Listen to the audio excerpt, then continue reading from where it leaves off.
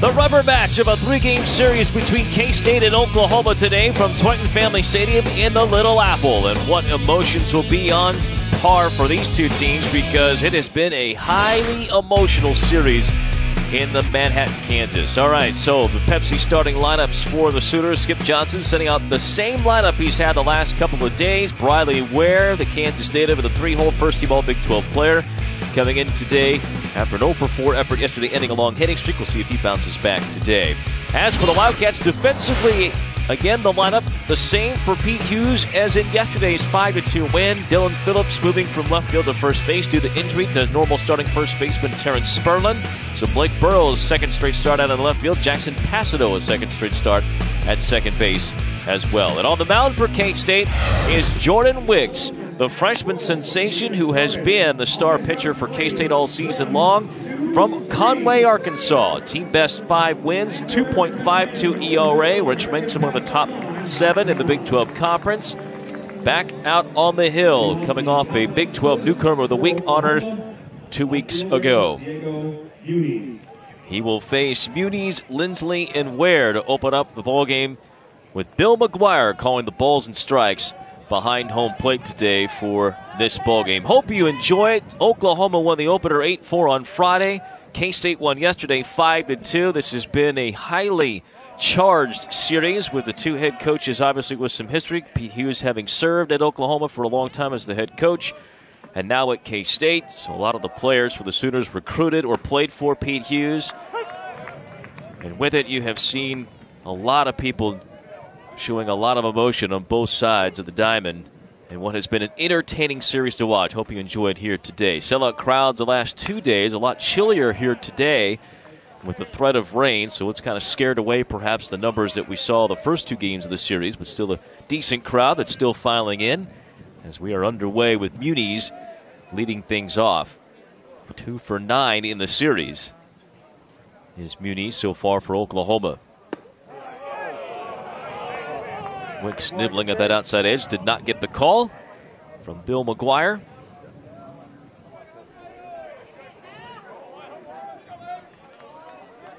So far, we've seen tight strike zones this weekend. Muniz fouling one off as the sun pokes its head back out. We'll see intermittent sunshine throughout the game here today. Again, rain in the forecast for later this afternoon and into tonight. Fly ball out to right field with a south wind blowing out towards left field today. Zach Kokoska will make the grab. Mike Clark alongside. What do you have for the Kansas Lottery keys to victory today? For Oklahoma, big hits. They got big hits Friday night, did not yesterday. And uh, they won and they lost in the two games. And then make Kansas State earn it. Kansas State took advantage of some walks, hit batters, lack of execution by Oklahoma. And then for K State, it is execution. Continue to get those bunts down, move runners, played aggressive, scored runs, and, and won the ball game uh, yesterday. And then strikes and defense, which was lacking Friday night. As you said, it's been the recipe really has been pretty simple for both teams. It, it, the ones that have done it have been able to come out of here with wins. The ones that haven't have seen the other side take advantage of the mistakes. It hasn't necessarily been beating yourself, but just you're setting things up for the other team to have big innings and to score runs and to win ball games. Thompson makes the play off the bat of Lindsley, two gone. Thompson's played pretty well at third base for the Wildcats here as he has seen his bat also improve. Yep. Well hit ball. Cam's really steadied things at third base. Uh, the move over there earlier in the season, uh, which was a defensive liability earlier, has turned into very, very consistent defense over there. Brylie Ware out of Sedgwick, Kansas, Neosho County Community College for one season where he was the National Junior College Player of the Year, recruited by Pete Hughes to Oklahoma, now in his third and likely last season with the Sooners. Fly ball out towards right center. Wind will push this towards Will Brennan. He'll make the grab. Jordan Wicks works a 1 2 3, top of the first. We'll get our first look at freshman Ben Abram against the Wildcat hitters when we return. The Pepsi starting lineup for Pete Hughes and the Wildcats today. Thompson, Brennan, Hughes, and Kokoska have a, had a tremendous weekend at the top of the order for the Wildcats. It's been a little hit or miss for the bottom half of the order, but K State with a defensive minded lineup with Cassano and Burrows trying to help them out at the 8 9 spots. Oklahoma defensively, Treadway can really run it down in center field. Ware and Zaragoza as good as it gets to the Big 12 along with McKenna along the infield. This is the top defense in the Big 12 with a 987 field percentage in conference play. On the mound, our first look at freshman Ben Abram, who was a Team Canada teammate of Griffin Hassall. K State's Friday night starter. Ben Abram has been working mostly in the midweek this season for the Sooners, but now gets his first appearance in Big 12 play, getting his first weekend start here today against Kansas State. 6'7, 265 pounds from the Toronto area a big lad up there for the start. He's going to sit in the upper 80s to low 90s with the fastball. And he'll go against Cam Thompson, Will Brennan, and Thomas Hughes. First pitch of the ball game to K State. Thomas Hughes, uh, or excuse me, Cam Thompson, a guy that's very aggressive early in the count, takes a big cut, comes up empty. And strike one to Thompson. What a weekend Thompson has put together for the Wildcats. High fastball out of the zone. Thompson is six for nine in this series with an OPS on base plus, plus slugging of 1,778. High fastball is top towards third. Ware has a cannon and he unleashes it there to throw out Thompson. Well, out number one. You could really see the spin on that ball. Cam hit it off the end of the bat. That had two different directions. One of the things when you have spin, just like with a breaking pitch, the ball will spin the opposite direction. So every bounce, it'll spin a different direction. Ware did a good job feeling it with his glove. Then it was just a matter of that arm getting it over the first base accurately. Will Brennan now the batter for the Wildcats, two for eight in this series. And Abram missing up in the early going against the Wildcat hitters. Brennan now at 304, three homers, 25 driven in. Two of Will's three homers have come here in the last seven to eight games. Ahead 2 and 0. We talked about it yesterday, but it seems like Brennan has really excelled since being moved to the number two spot in the order. The numbers back that up. The last seven games, hitting 333. He has hit in four straight. Three extra base hits in the last seven games. 2-0 fastball to make it two and one. Ben Abram, just the eye test. Boy, he fits the part. Big right-hander out on the mound. 2 1. Right into his mid, a line out. And Ben Abram has to catch his breath in addition to catching the baseball. It's a chuck and duck there. Let me tell you, that was as much survival as it was actually making the play. If he'd have been holding his glove down lower, that would have been a base hit. that's that's how quick that ball got there. Very lucky. It didn't hit any of that big target. Hit him right in the mitt. I think uh, the ball caught the glove. Thomas Hughes takes strike one. Hughes three for five in this series. Three walks. On base percentage, as you see there, nearly 370.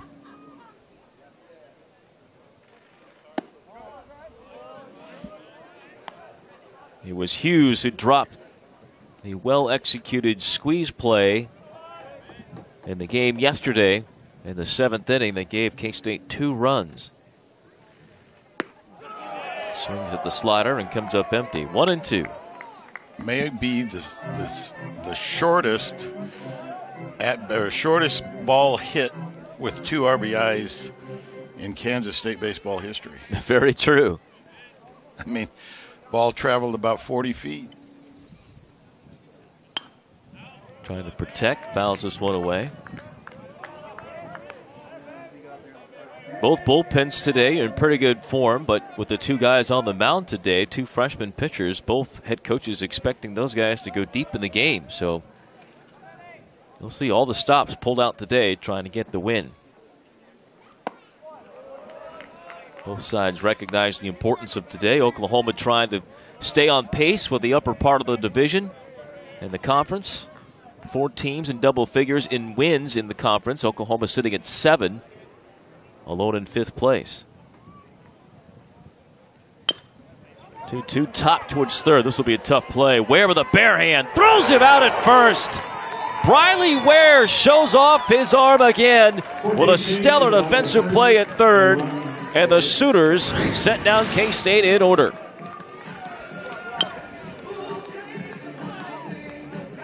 Kid that looks every bit the part of a major leaguer. Let's play K State Baseball is brought to you by K State Global Campus. Earn a degree from Kansas State no matter where you live. K State Global Campus, expanding campus to you. Pepsi, proud beverage sponsor of the Wildcats for more than 40 years. And by the Kansas Lottery, proud sponsor of K State Athletics. Kansas State no score with Oklahoma. Both pitchers locked in as we go to the second inning. Brian Smoller and Mike Clark with you up here in the broadcast booth. Glad you could join us today. Second straight game here on ESPN 3. An entertaining start. Really expecting a pitcher's duel again here today, although I guess you never really know, but so far so good. Yeah, the, the batting averages of both teams very similar. They both try to do things, maybe K State more with the power. Oklahoma more with the bunt. But the first inning, you know, great defense, good pitching, and I think that's what we're going to see for, for nine innings. Whoever blinks first is going to probably get in trouble. Yep, and find themselves with the series lost. Of course, Kansas State has Jordan Wicks on the mound. Ben Abram has been the guy for Oklahoma. We're going to hear about him more later. But both coaches, head coach Pete Hughes and Skip Johnson, had kind of the same idea how about to go about getting a win today. For more on that, let's go to Anna Christensen, the third member of our crew. Thanks, Brian. That's right. Both head coaches have said this game is all about execution. OU's Skip Johnson says that his guys need to execute their game plan and make sure that they're playing to the ball, not their opponent. He also said that they need to stick to the basics and make sure that they get those right. Pete Hughes had similar thoughts, saying he tries to take it a game at a time, and the Cats need to play their game regardless of who's in the other dugout. Brian. All right, thank you, Anna. Jordan Wicks, after a first pitch that missed, Comes back and evens the count with a fastball blown past Justin Mitchell, and it's one and one. And a foul tip off the bat of Mitchell, waving at the changeup, and it is one and two. Changeup to right-handed batters will be the weapon for Jordan Wicks. A very good changeup, one of the best you'll see from a young arm.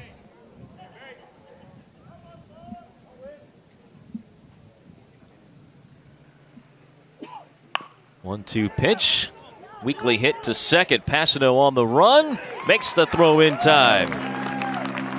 And he appeared to be unfazed by the squirrely hop that came right before he got to the ball. Yeah, a lot of pitches or a lot of hits right now off the end of the bat, and you can really see the, the, the way the ball travels. That ball kicked off to the, the uh, glove hand side of Passano, and he just stayed with it.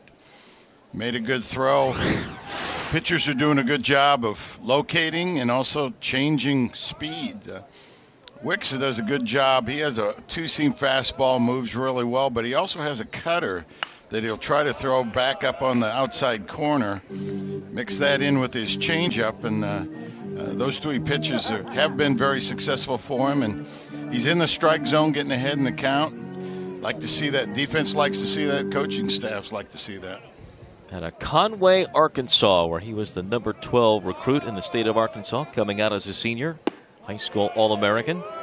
Just low to Hardman here to even the count at one. Pick K State over Vanderbilt, Ole Miss, the home state Razorbacks, and again, the Wildcats, the benefactor of a young man that certainly will be in the conversation for Big 12 Pitcher of the Year, although it looks like Alek Manoah of West Virginia is starting to pull away in that conversation, but put himself in it with his performance at Texas when he was second in the league in ERA after that performance. Pitch fouled away by Hardman. At this point, you feel pretty good about K State's chances of getting a one, two, maybe more players on that all Big 12 freshman team. There's three freshman arms that have uh, really stood out this year and really coming on strong here late in the year. So, and in Hassall and Torres, those will be the two you're talking about. Both have appeared in this series. Six foot, 220 pounds, Jordan Wicks. I'm not sure if baseball has a newcomer of the year. Or they do. That type of thing. Kokoska has to be in the mix on that. Backhand by Hughes.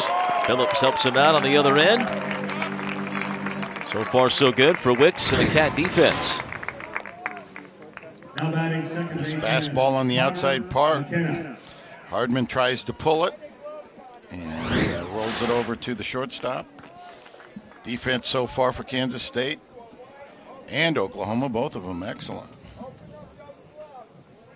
Connor McKenna, the batter for Oklahoma, who played for Buck Taylor at Palomar Junior College last year, pitching coach of the Wildcats. So this is one of his former players. McKenna now the starting second baseman for the Sooners. Three for seven in the series is McKenna with an RBI. And ahead 2 0 on Justin Wicks.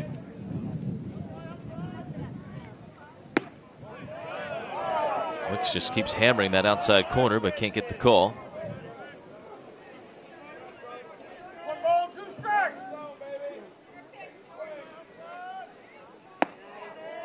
Three and one. Wicks is not a guy that walks very many. Only 15 walks this year in 61 and two thirds.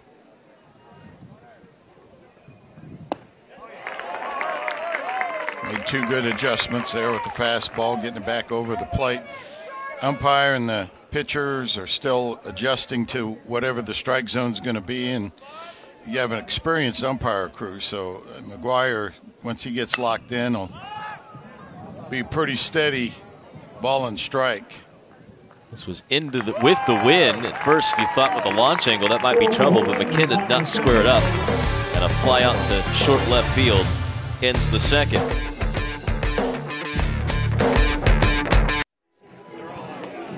Kansas State and Oklahoma tied at zero as we head to the bottom of the second. That was yesterday's promotion here at the ballpark. Those foam bat hats from the Ahearn Fund. The gentleman right there, he understands baseball. You don't mess with a streak. And if the Cats won when you're wearing a foam bat hat on your head, then you, by goodness, wear that the next day because it might mean the Cats win again. As long as the streak is alive, you wear it. There's been some really raunchy uniforms worn game after game after game by baseball players through the years on just about every team. Can't help but fall into a bit of that trap of the superstitions and ritualistic nature of the game just because of the monotony of so many of the same things every day. Can help you fall into that. Zach Koska, speaking of a guy that's doing the same thing every day. Just keeps finding a way to get hits and RBIs. Leading the team in batting average, homers, and second the team in runs driven in is Kokoska. He'll pop one up left side. Plotting what is a gray sky, Brylie Ware in front of the K State dugout will make the grab. There's a lot of high patch, patchy clouds today, which may hide the baseball a little bit as it goes up. K State has turned the lights on just in case, as it's been intermittent between cloudiness and sunlight. Sometimes a white baseball can get lost up against those white or grayish clouds. So, and if the if the pop, if the sun does pop out uh, unexpectedly and you don't have your shades on, cause another problem. So. The wind today out of the southeast, it's kind of out of the right field corner, blowing across the diamond at 15 miles an hour, occasionally in from right field. So we've had three different wins over three different days. Ceballos will test Ware again. Not a good idea. As he takes care of the Wildcats with a third straight out. Basically, other than the first baseman, everybody else can just go to the dugout because that's pretty much been, been his uh, defensive game right now. So he do not want to try and go over that way unless it's with a bunt. It's where very tough customer at third base. Kansas native. Now Dylan Phillips out of Omaha, Nebraska, freshman for K State. 0 for 6, but has reached base a couple of times with a walk and a hit by pitch. Scored a run yesterday. He takes strike one on a pitch down and away. Season number for Phillips, who is playing first base for the second straight day with Spurlin on the men from a rolled ankle in Friday's game. One and one.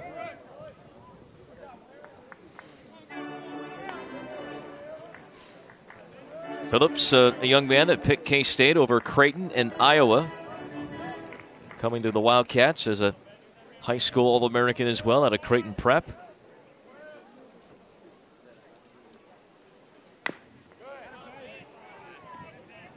Trying to become the first base runner of this ball game. Neither side has been so far able to solve the freshman hurler on the hill.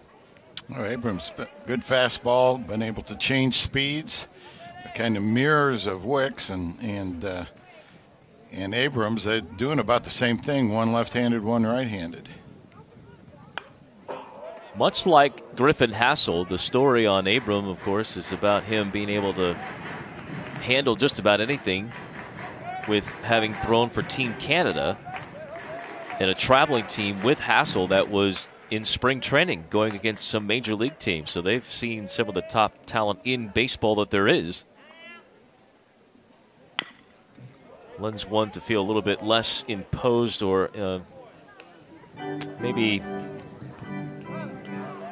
you know, shaken by well, going up against the. If you faced Mike Trout, I mean, what you, what what's this? Or this Vladimir, Vladimir Guerrero Jr. That this team is a team that's played the Toronto Blue Jays a lot of time, the Team Canada. Yeah. So it's uh, again, you're going against guys like that. It's a little different.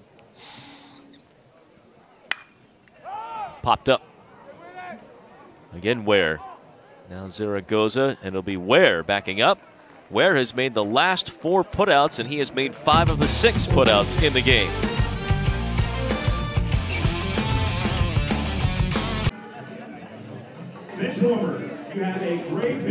No scores. We head to the top of the third inning. So far, both freshman pitchers have been very dominant for K State and Oklahoma. Brian Smolder, Mike Clark, Anna Christensen, producer director Andy Leach, our entire crew with you here from Tointon Family Stadium. Bottom third of the order for the Sooners up to face left hander Jordan Wicks for the Wildcats. And if this is the first time you've watched K State and trying to figure out what this whole Pete Hughes and K State baseball mania has been about here as the Wildcats have won nine of their last 13, a number of wins against ranked opponents. A large component of it has been the steadiness of the freshman pitchers, Griffin Hassall and Jordan Wicks.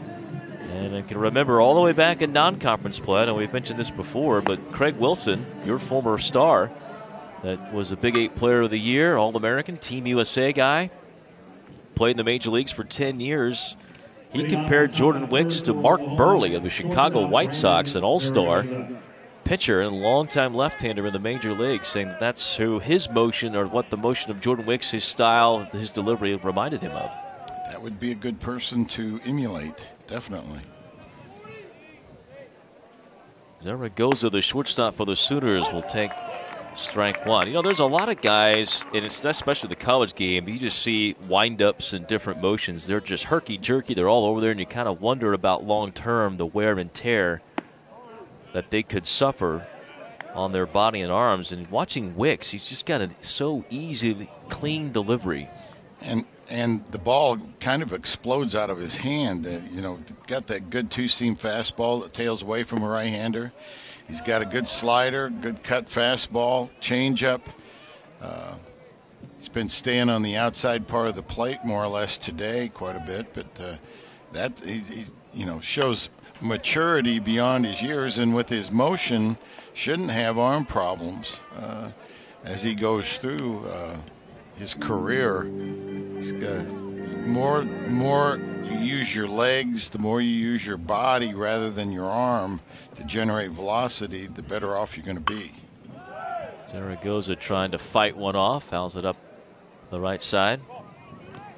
Wicks really grabbed the attention of the Big 12 with his performance at Texas a few weeks ago, where he went nine innings and pitched a complete game shutout with six strikeouts against the Longhorns. It was the first ever shutout by K State against Texas in the series history that dates back to the early 1900s.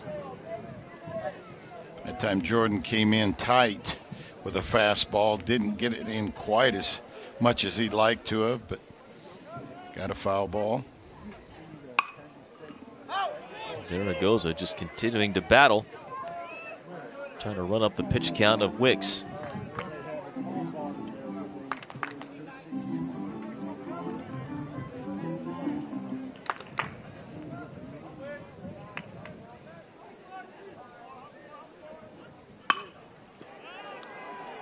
Shallow fly ball, and it will find its way in for a hit. Perfectly placed by Zaragoza. You could hear it off the sound that it didn't get it clean off the bat, and it ends up falling in. First hit for either side is a. A little breaking pitch that Zaragoza just blooped into uh, no man's land there, the triangle. And uh, first hit, first base runner of the ball game. Brady Harlan, who had been a hot hitter coming into Manhattan, two for six in the series, will hit now with a man on. Showing bunt, and Wicks will go to first. A lot of bunts in this series by both teams. Only five official sacrifice hits, but of the combined 36 hits, it feels like at least a third of them have been infield singles. That and it, you know, it's just the execution of it, defensively and offensively. But it's played a big role in the win for Oklahoma Friday night and the win yesterday for Kansas State. And it doesn't go down as a sacrifice bunt because sometimes it turns into a hit, sometimes it's a fielder's choice, but still doesn't get any outs. And it's a you know, it's been a big weapon for both teams, and it's up to both teams to be able to execute defensively. As you said at the outset, who and just there again, whoever has executed has usually gone on to win. The ones that haven't have seen a loss. Swinging and a foul tip into the mitt by Harlan. We've seen squeeze plays. We've seen bunt, then pull the bat back, slap plays. We've seen show bunt on a pitch, then swing the next pitch. Not everything being pulled out by both teams in that regard. Gonna throw to first. This is not a running team in Oklahoma. They are not ones to put on the speed game. Zaragoza has four stolen bases on the year, one in this series. In fact, the only stolen base in the series for the Sooners. 1 1 fouled away, so it looks like the bunt is off now for Oklahoma. Oklahoma has grabbed the lead in both games of this series to this point. They led in the Friday game, four to one, and then they led yesterday one nothing before K State rallied. But it's actually been the team that scored the first run both games that has gone on to lose. Strike three called to the inside corner. Harlan has a fastball underneath his hands, and he's the first strikeout victim. Great job. Four seam fastball, kept it right on the uh, inside corner and uh, just froze Harlan, looking for something away at that, uh, obviously, and Jordan Wicks executed the pitch perfectly.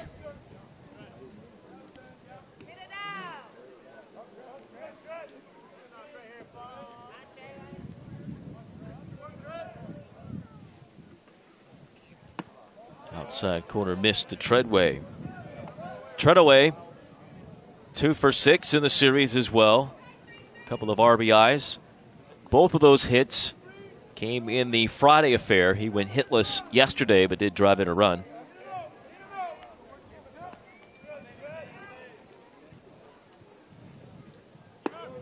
Runner is going. The pitch was outside, and the tag well in time to get the runner Zaragoza.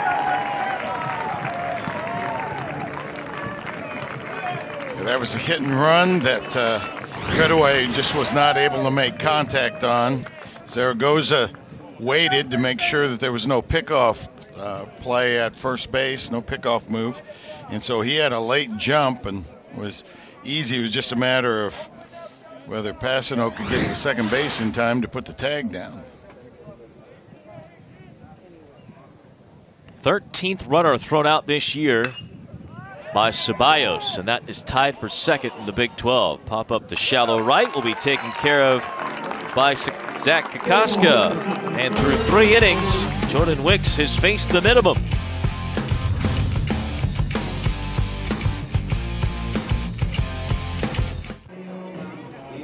Quick game so far, bottom of the third inning. Both pitchers have been dominant. K State getting their third bat, their third turn at the plate against starter Ben Abram.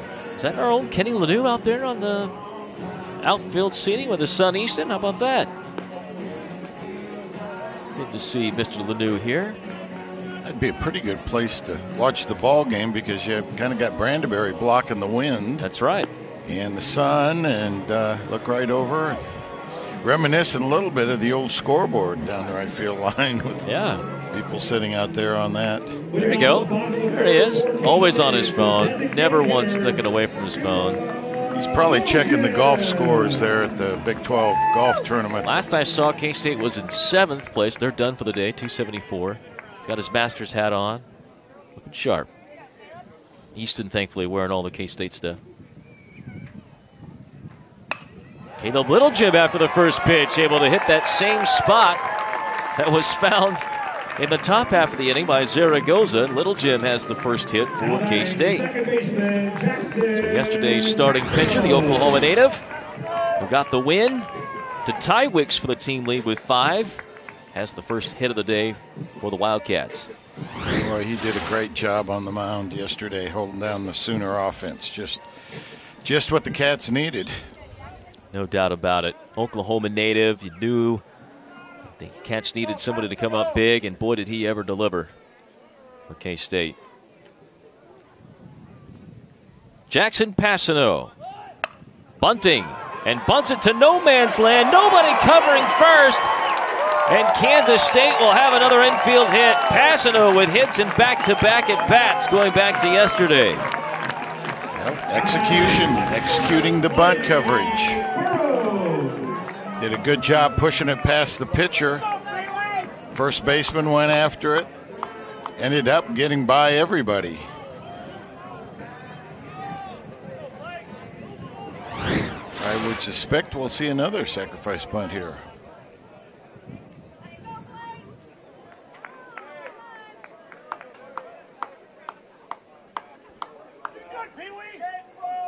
Blake Burrows, number nine man,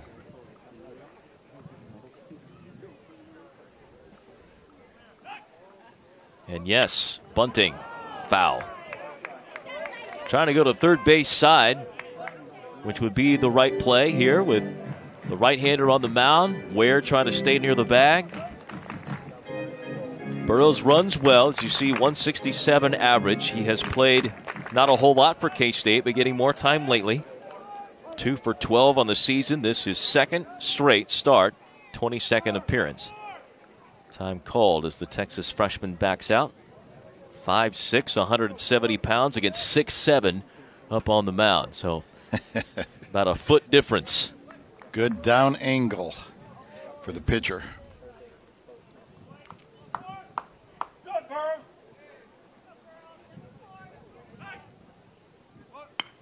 And the bunt well placed.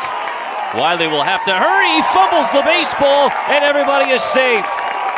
A rare misstep from a gold glove third baseman. I don't think he could have thrown him out anyway. Burrows was way down the line. I was watching the, the Burrows run, and I mean, Ware Ware has a good arm, but he, I mean, I'm not sure that 100 mile an hour would have got him out at first base. That's a base hit. What a great bunt. And once again, in the series, you execute the bunt, you don't execute the bunt defense, can come out and, and bite you. This is the opportunity Kansas State's been looking for. Bases loaded, top of the order. Using small ball. And now Cam Thompson, who homered yesterday, also had an infield single. And this is what the bunt creates is uncertainty if you're Oklahoma of what exactly K-State's going to do. Swinging away is Thompson, and he'll foul one off. You know, in the position that in the position the infield's in, a high hopper could be a base hit and drive in too. There was Cam yesterday, that home run, majestic shot down the line at State Fair, the bunt single. We just saw this from Paso, the same idea. Push it past the pitcher. And then Cam scored the second of these two runs on the squeeze play by Thomas Hughes, and you could see the emotion from K State in that game yesterday. Trying to carry it over. Thompson trying to continue what has been a torrid weekend. Shot towards second. Could be two. This will get a run in. It is a double play, but the Wildcats score the game's first run. Oklahoma would take the defense, allow the run to score to get the two outs. Cats still have a runner at third base. Two outs, looking for a two out hit from Will Brennan. No RBI there for Thompson, but at least gets the ball in play. A run in for the Wildcats. We saw that in the game yesterday. Kokoska, in fact, did the same thing. Grounded into a double play with the bases loaded to get a run in. Here's Will Brennan, who squared one up, but right at the pitcher his last time at the plate. That was caught by Abram. And swings through a high fastball.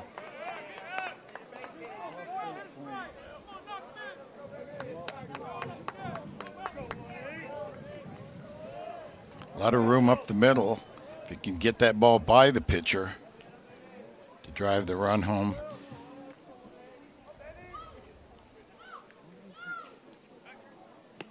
Breaking ball nearly hit him. Second time through here for Abram. Thompson was the first going through the second time through the order.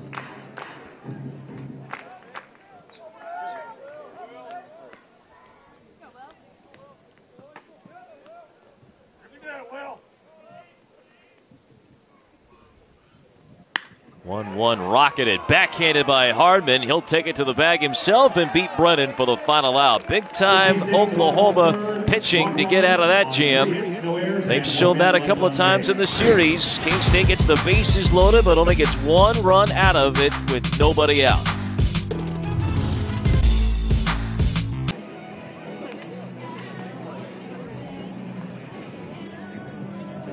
K State with a 1 0 lead over Oklahoma. A double play turned by the Sooners, their third of the series. But over 40 now in the year by Oklahoma, and that has given them a chance to avoid a big inning. But it has given Jordan Wicks a 1 0 lead as he starts the fourth, but getting his second time through the order of Oklahoma. Wicks has faced the minimum through this point. So the top of the order due up. Muniz gets his second look at the left-hander. Fly out to right from Muniz. And he starts behind 0-1. Good two-seam fastball, keeping the ball down in the zone.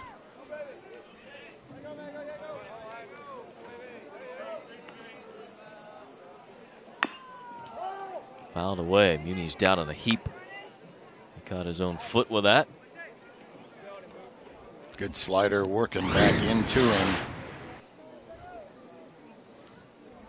Right off the big toe. Muniz.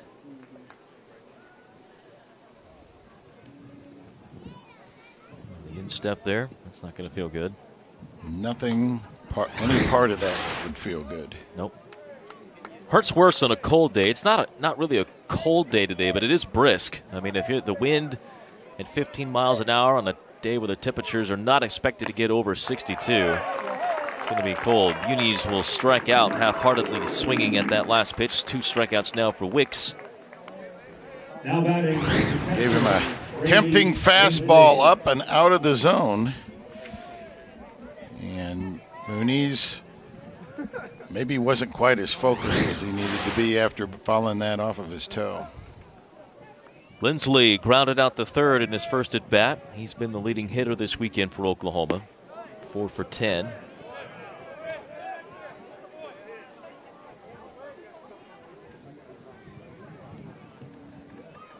One RBI came in the bowl game yesterday. Big slider. Had him in a fastball count, came with the slider and swung right over it.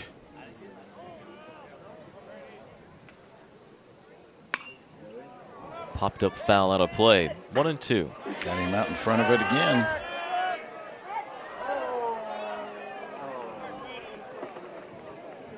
Lindsley, the catcher for the Sooners.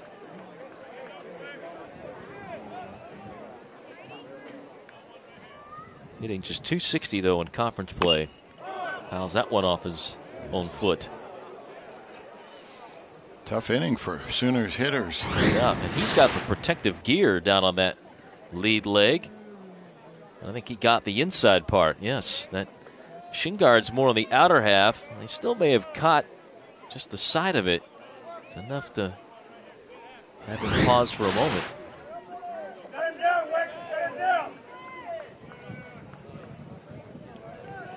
Audible mention all Big 12 catcher a season ago for the Sooners. Strikes out. And Wicks now has back to back strikeouts in three of the last four. Went to the fastball away. Did a good job. That was actually a cutter. Thing started on the outside part of the plate, and just cut away into the other batter's box.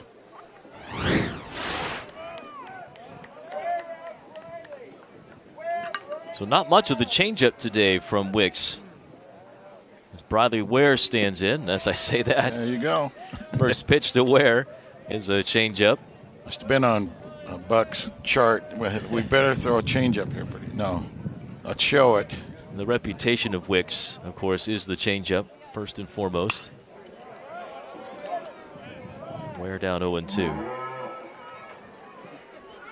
See more and more young pitchers coming into the college ranks with a changeup fastball combo and not yet having the development of a curveball or a slider. You know, that's not bad because the longer you wait, as long as you know how to throw it properly, the breaking pitch won't hurt your arm. The problem is, is a lot of people out there don't know how to teach to throw the breaking pitch properly. One two pitch out to center, not well hit. Will Brennan takes care of it in center field. Jordan Wicks continues to mow down Oklahoma. Two strikeouts in this inning for Wicks as he's faced the minimum through four.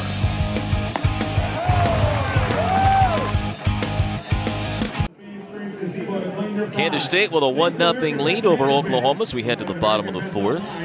While we're taking a tour through K State employees working today, there's Preston Kerner from our own K State HDTV staff.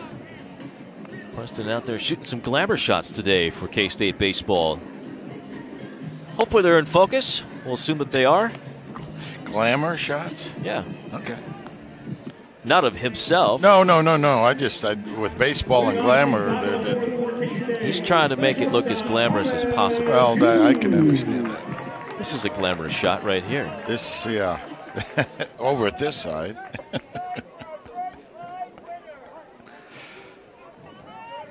Thomas Hughes to lead things off here in the fourth. Hughes, Kokoska, Ceballos, and Hughes. That sweeping slider swings and misses. Thomas Hughes, three for six of the series, and his overall batting average. If there's ever a a reason to thumb the nose at metrics, the pro- traditionalist metrics of batting average, homers, RBIs, that seem to be down. Thomas Hughes would be the perfect example of that. That's uh, that's a strike. This is going to be a quick game. No doubt for both teams. Yeah. Hughes in the last 26 games has an on base percentage of 400, but a batting average of 250. A 400 on base percentage is no fluke, my friends. I mean, with baseball, there's so many different ways you can be successful. And his way of being successful is a combination of walks, takes a lot of pitches, works pitch count, Squeeze bunt, two RBIs, sacrifice bunt, move a runner, ground ball to the right side, get a run home. Strike three called to the outside corner. And Hughes strikes out. Strike zone expanded a little bit there for Hughes and that at bat. I always ask guys, you know, if that's a strike on a slider to a, with a right-handed pitcher, then why is that not a strike on a fastball with a left-hander that's tailing in the same position? And we saw the last two half innings that situation where Wicks wasn't getting that outside corner two innings ago on basically the same location. And it's fun. Umpires have their little quirks also. Yep, uh, There's yep. certain umpires that have trouble calling strikes or getting the outside corner right with a left-handed hitter, and they're right on with the right-handed hitter, and it's just part of the beauty of the game that can be very frustrating sometimes.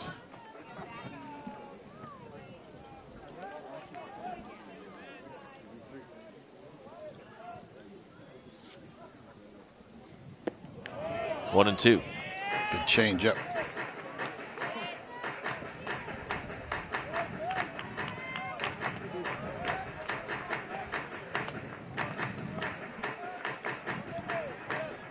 Both these freshman pitchers look pretty polished for first year in Division One baseball.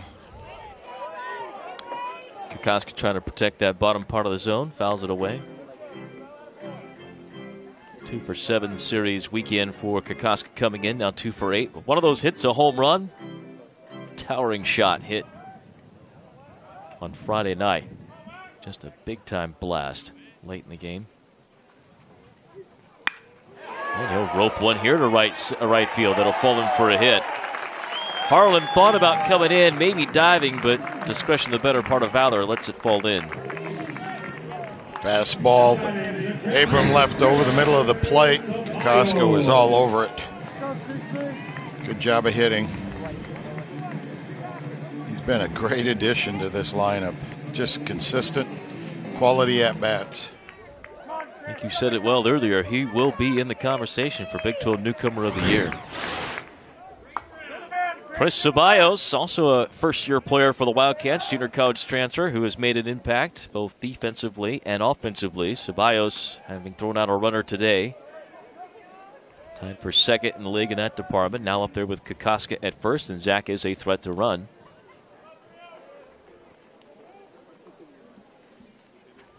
There he goes. Bunt was being shown by Ceballos. He takes the bunt off, and the ball pops out of the middle of Lindsley. He had a pass ball here yesterday, and I think he may have just gotten another. That was pretty similar to a ball that got by him. I think it was Friday night, where it just glanced off the top of his glove. That's a pass ball all the way. Just not concentrating, distracted a little bit by the bunt being out there in front, but Well, I think it may actually go in as a stolen base, as Kokoska was off and running before the ball got away from that- Lindsley. yeah. So Lindsley saved from having the pass ball. And Ceballos puts one in the center field. Kokoska rounds third. He's chugging home. The throw is cut off, and K State up 2 0.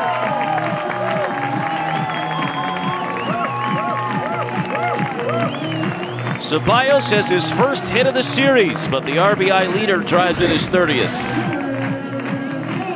fastball inside. He was able to fight it off up the middle. Good base hit. Kokoska got a great jump, knew where the center fielder was, read it perfectly, and was able to come in and score the run, even though it was kind of a weakly hit, base hit. That was great base running by Zach. Dylan Phillips popped out the third his first time up, fouls one back to the screen. If anything, the ball not being hit sharply probably helped out K State as it didn't roll quickly to Treadaway in center. Well, I was watching. You could see Kokoska, his jump that he got, and as soon as he saw that ball clear the pitcher, he was off, and and uh, that was a good alert and aggressive base running, which Kansas State's shown all year. A lot of the base runners there at Kansas State would have taken off on that ball in the dirt. When they see the catcher go down to his knees on a block, the runner at first base, if you're a fast runner, they'll, they'll take off because they know that ball's going to bounce around on this turf. With Ceballos, we're going to stay a little closer to the base. Yeah, probably not the one guy that probably is not given the green light to run as much.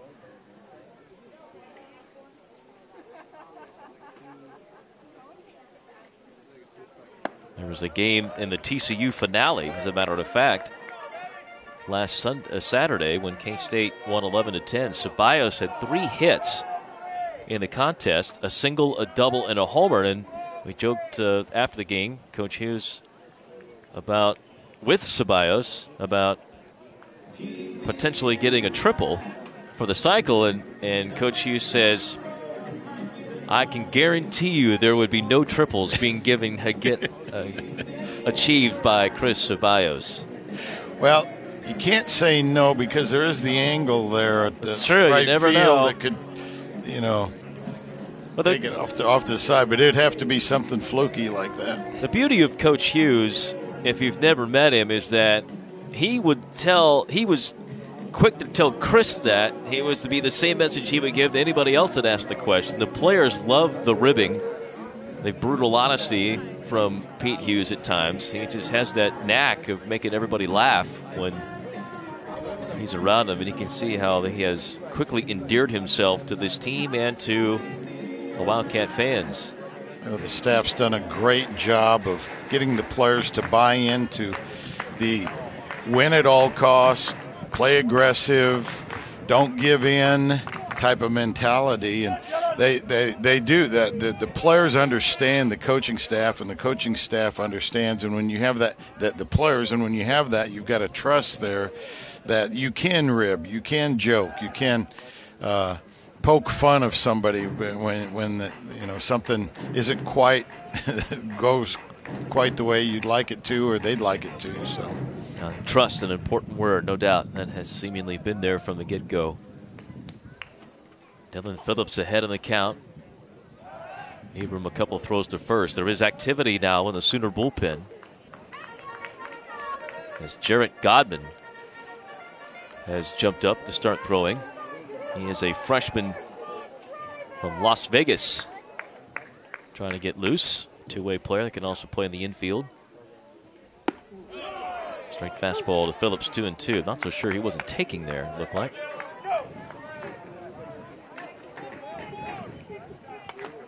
We'll take a look at his wristband that has the checkerboard grid of all the plays for K State. And the throw over to check on Ceballos. And as we mentioned, Ceballos really zero chance to run. This is more of just wasting time. Oklahoma trying to get Godman more opportunities to warm up in the pen. If Oklahoma believes Abram is laboring. 2 2. Phillips ropes it down the right field line, but it will be onto the patio and down by the Willie's Fun Zone. that was a changeup that was up. Phillips just could not wait any longer and uh, just pulled it down the line. Phillips does have power. He has shown that in his freshman campaign with four home runs, hitting one onto the roof of Brandeberry earlier this year in non conference play. That's the indoor complex, the giant baseball indoor complex behind right field. 2 2 grounded. Hardman with the spearing of it before it got the right field, and the attempt to turn two goes into the dugout, and that'll get Phillips to second. A little bit unlucky there for the Sooners. Turning two would have been difficult, but your hope would be that even on the return throw that it could be knocked down enough to keep Phillips at first. Instead, it goes into the dugout. And a runner in scoring position now from K State as Abram just couldn't quite make the play. That's the most difficult play, uh, double play, ground ball to first base, and have the, have the pitcher run over, and it's awkward. They're not used to the footwork that goes on there, and in this situation, pitcher set up, Abram set up his feet, locked in, and the throw was off to the side, and he wasn't able to make the adjustment to stop it. Caleb Littlejim had the first of five hits today for the Wildcats with a single in the third. He scored the first run. And a wild pitch from Abram will send Phillips over to third. This is a lot of the markings of yesterday when Oklahoma was the one creating some mistakes and allowing K State some opportunities. That just spiked that slider. I mean, that wasn't just away, that was way away and short. So, little chance for Lindsley Laird. I, I wouldn't be surprised to sit on a fastball here this pitch because break now they're going to come in and make a pitching change right now. Yep, I think Skip Johnson sensed the same thing. Abram had suddenly lost command of the secondary stuff, and with only the fastball available, too many chances of things going wrong. So Abram will not make it out of the fourth.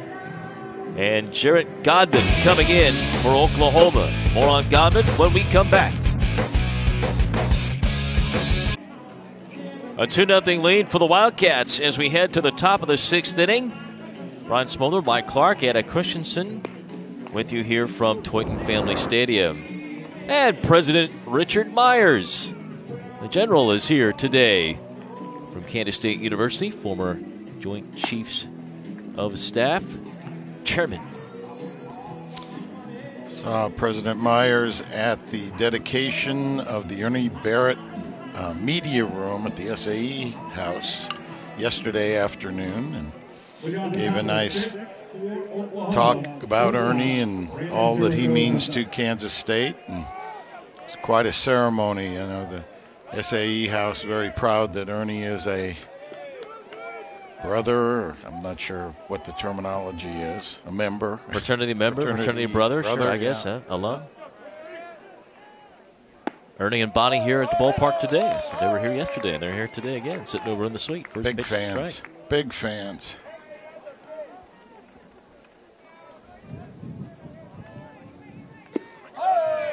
So, in addition to Preston Kerner, we have Richard Myers here in attendance today. So, royalty truly at the ballpark this afternoon.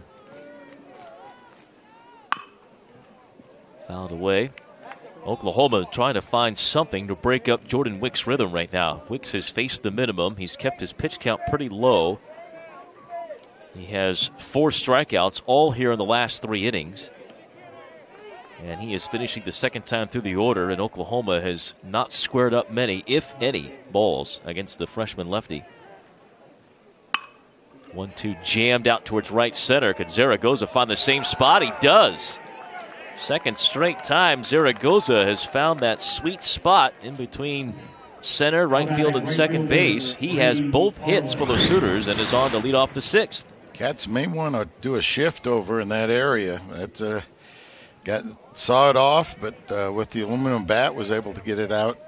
The golden triangle there, right center field, and good at bat. OU has the leadoff batter on here in the sixth. Harlan swinging, not bunting, and he fouls it back. Harlan showed bunt in this same situation in the third, then started swinging away. Ended up striking out on a fastball under his hands.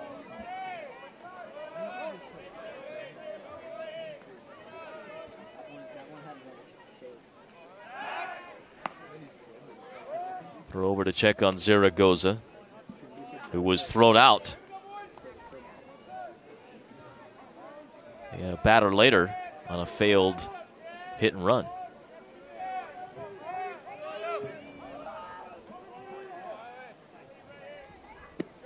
Buried at the plate. One and one. Now, if you're in Oklahoma, the one positive here would be that Wicks hasn't had to go from the stretch very often in this ball game. Just two batters. So your hope is that by having him go for the stretch now in the sixth, that may change him up enough with a distraction to the guy at first base that perhaps he'll make a mistake and the Sooner offense can start getting the carousel started.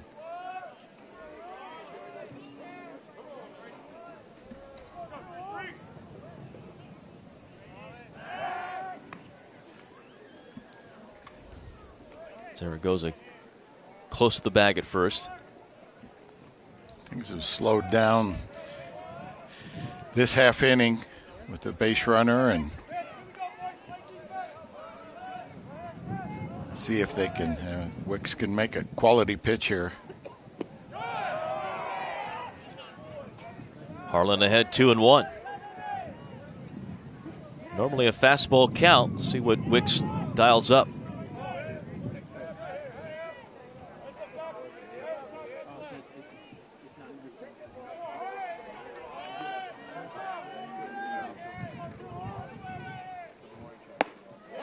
High fastball.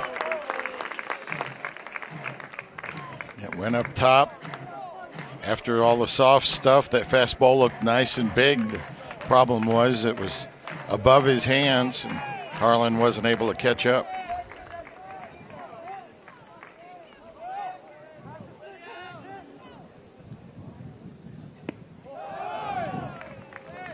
The change up away, it looked like.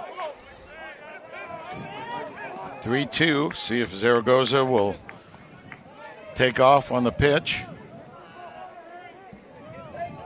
Try to stay out of the double play. He does not, and it's foul tipped into the middle of Ceballos. Harlan strikes out. Number five for Jordan Wicks.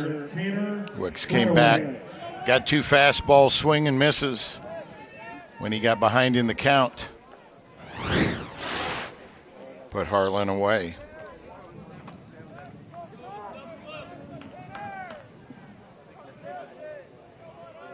Tanner Treadaway flied out to center back in the third inning.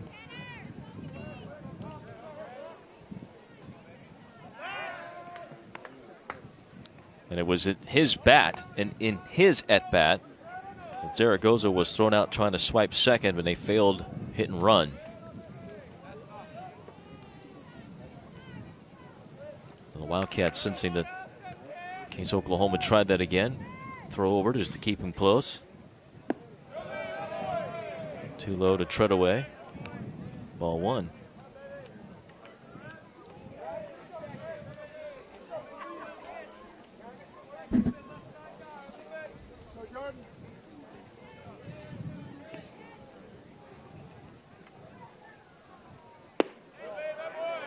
Too low. Falling behind here from the stretch position, the last two hitters needing to come back. Trust his stuff. Get it back in the zone.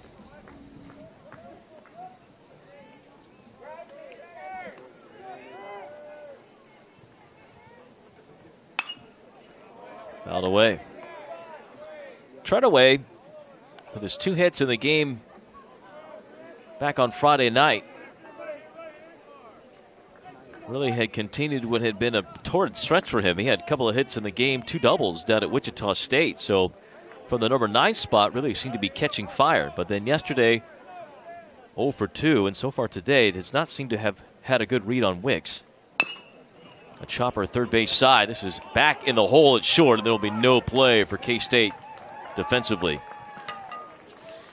Uh, the good news for the Cats is that bouncing ball wasn't down the third baseline because that would have gotten over Cam Thompson and gone down into the corner for probably an extra base hit. Again, the turf here at Kansas State, new turf, and it is very bouncy. And you pound something into the ground, then two, three feet of home plate, and it's going to have a big hop and going to be tough to throw anybody out. Another infield hit. Sooners finally threatening. Offense starting to get going. Back to the third time through now. Muniz, top of the order. Walk or a strikeout and a flyout against Wicks, and he fans at a changeup.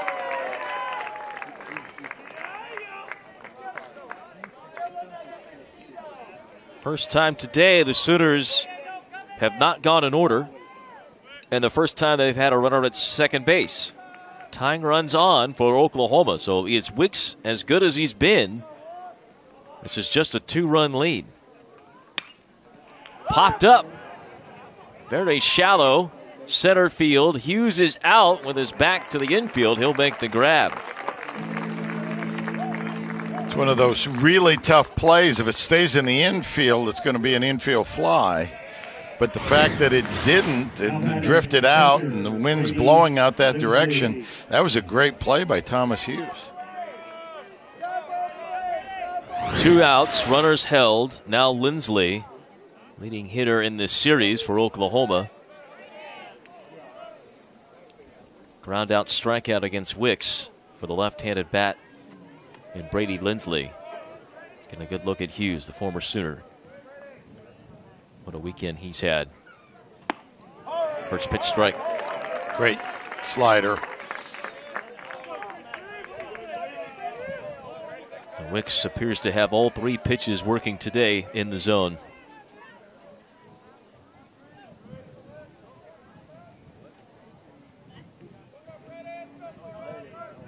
Saw Wicks shake off a sign there.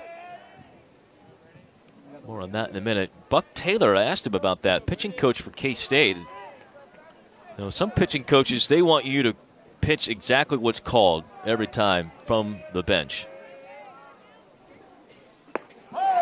Swing and a miss, 0 2. But Buck Taylor, if you, he's a very easygoing gentleman, and he says, I have no problem with a pitcher shaking this off. If he feels like he's got a better pitch, or he feels more confident in a pitch, I'd rather have him go to that than stick with what I'm calling.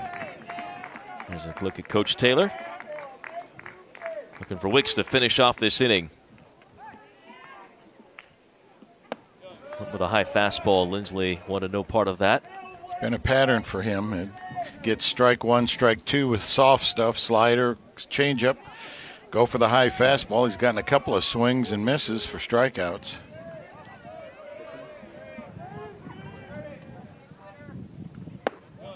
Came back with it again. Lindsley did not offer.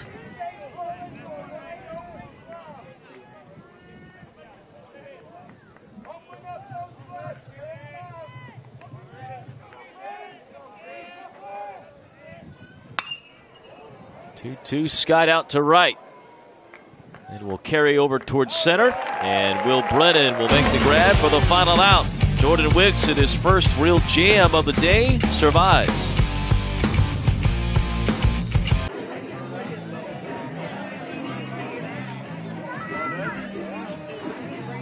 K State fans, young and old, taking care of this weekend series and watching this Wildcat bunch trying to take a series again from Oklahoma, looking to win their first series since 2013. I'm not sure if that's brother on brother crime or brother on brother love that's being shown right there. Is this a plug for Avengers Endgame, by the way, with Could Captain be. America there? it's a plug right here for, uh, I don't know if we're sponsored by Marvel or not, but we just gave them a free shout out.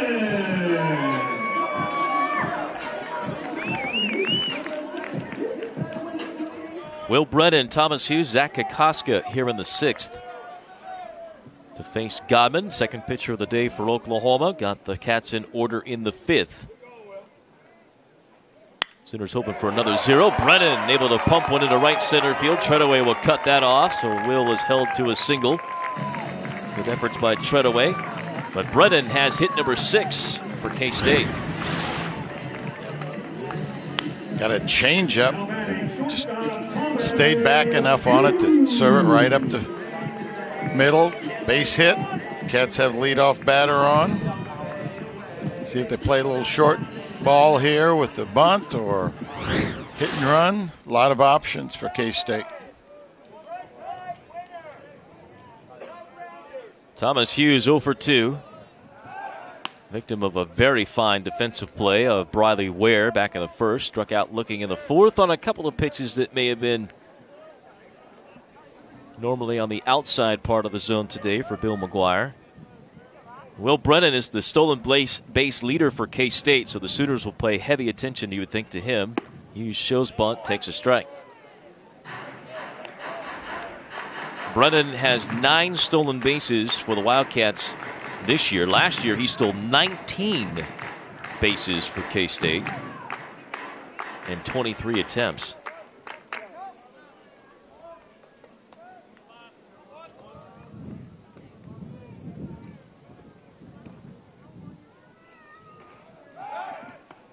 He draws a throw. Now Godman was pretty quick to home plate on the first pitch. See how fast he is here. Next couple of pitches be a big determining factor on what Kansas State does.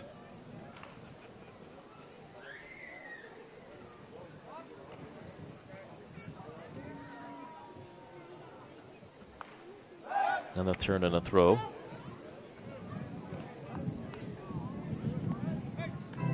Shane Conlon, who's the first base coach for K State, if you can see in his hand, he's got a stopwatch. And he is timing the delivery to home plate.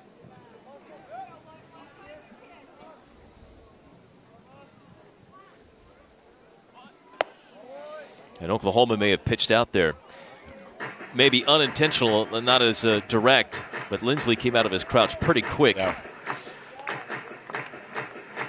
So the cat and mouse game really in full force right now. As K State senses as you get to the later parts of this game the importance of another run or two with Wicks pitching so well. Regardless of how long he can go in the game, you'd feel a lot better if you're the Wildcats of adding one or two or more runs, and Oklahoma trying to keep it where it's at.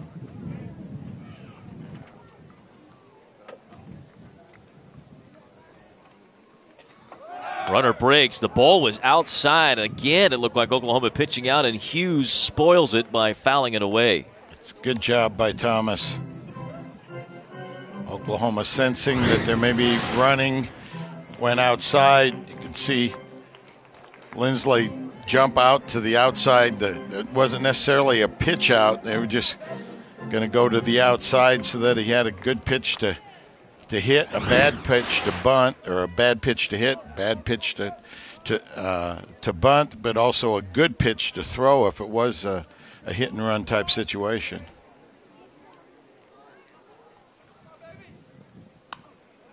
Breaking ball, Hughes does well to foul it back. And by timing the pitcher from the set position, once he makes his move to pitch a ball to home plate. The stopwatch starts.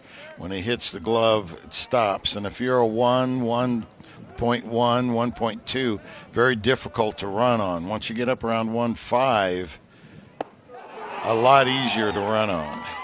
Hughes will strike out on a high fastball, one out.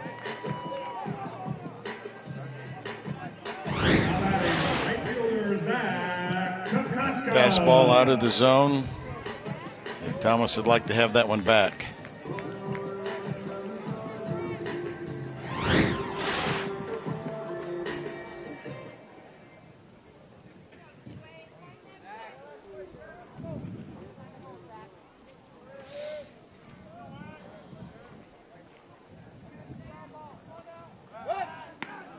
Zach Kokoska, one for two with a single and a run scored. Stole a base back in the fourth. He'll hit with Brennan at first and one out.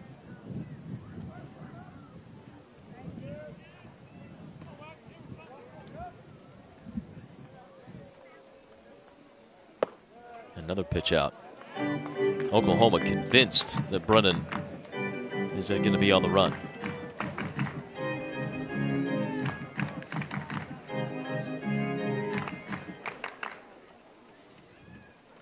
Big hole on that right side right now, though, for Kokoska to his pull side, with Brennan still at first. A little harder for the catcher to throw, also with their left-handed batter in the batter's box.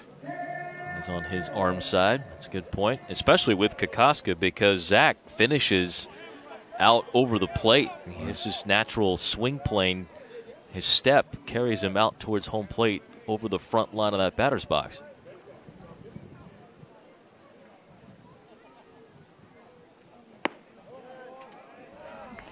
So far, though, Godman has come nowhere close to the strike zone with two pitches.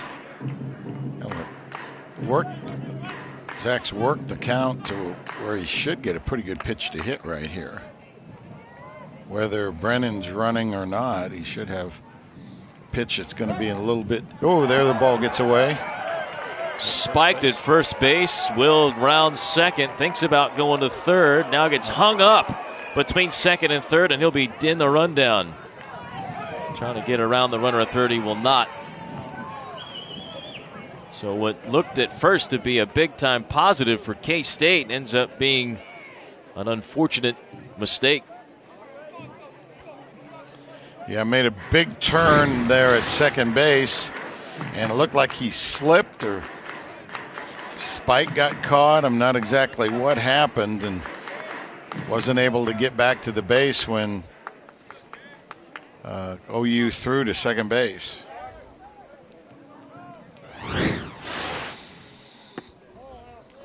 So an E1 allowing Brennan to get to second, but then he is out in the run rundown after for the second out of the inning. Now the base is empty, but a 3 0 count on Kokoska. And what may have been a bigger inning,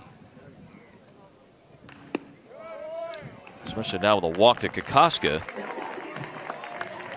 is two outs runner at first.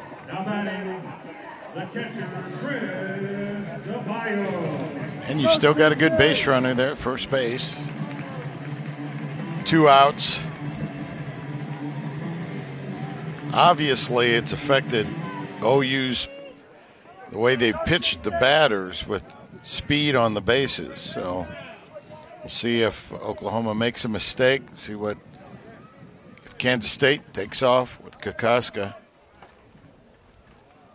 Not running, and Ceballos, the huge cut, followed through, and his bat caught Lindsley, but did not catch the baseball. Strike one. Got a slider on the first pitch when he was looking for a fastball.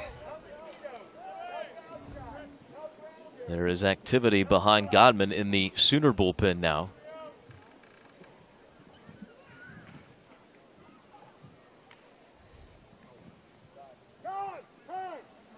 Time called by Ceballos and granted before the pitch was delivered. There are a couple of bullets in the gun, so to speak, as you see Bill McGuire, who gave the time call to Ceballos. Notably, their closer, um, Jason Ruffcorn, the Texas A&M transfer. Legend Smith is the guy on the left, the left-hander. Ceballos swings and misses here 0-2. Didn't see who the righty was. Zach Matthews and Jason Ruffcorn, the two other guys that could throw. There's it is Matthews that's on the left side of your screen. Looks to be ready. Legend Smith threw in the game on Friday and warmed up here yesterday but didn't throw.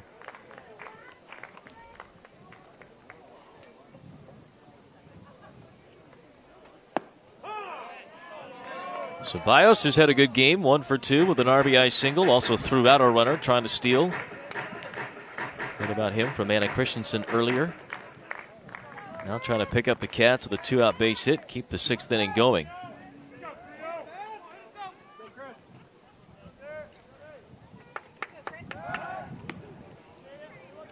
Bios has hit well over 300 with men on base this year, and big reason why he has 30 RBIs in 44 games, leading K State. Oklahoma's been getting Ceballos out with the breaking pitch. Might be a good time to take off right here, thinking a breaking pitch is coming. It's well outside, and it is another breaking pitch that hits Ceballos. He strikes out, inning ends. Wildcats started well, but unfortunately couldn't get anybody in. One hit, a walk, no error, or one error, and a man left.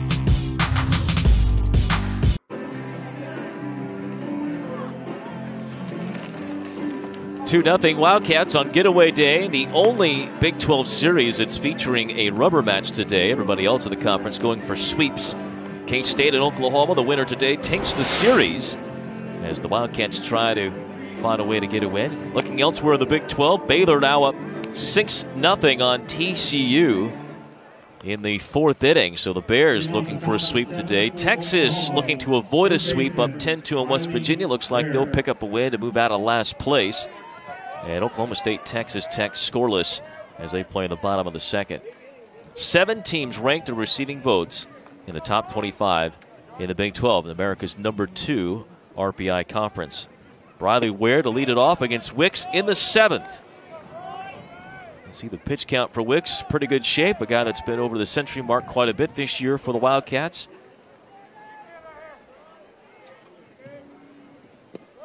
Had one extra day of rest after the Easter weekend series last weekend. Throwing on Saturday last weekend.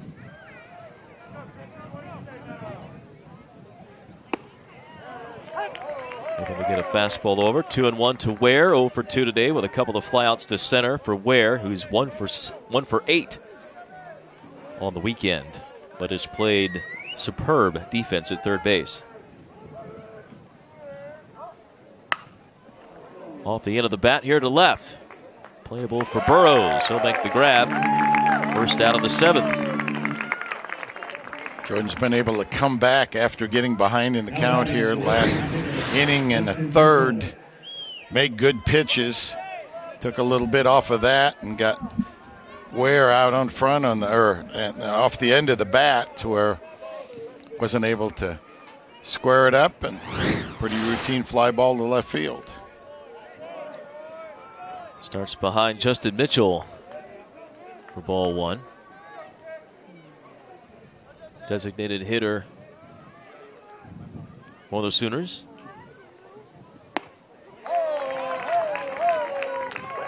One and one.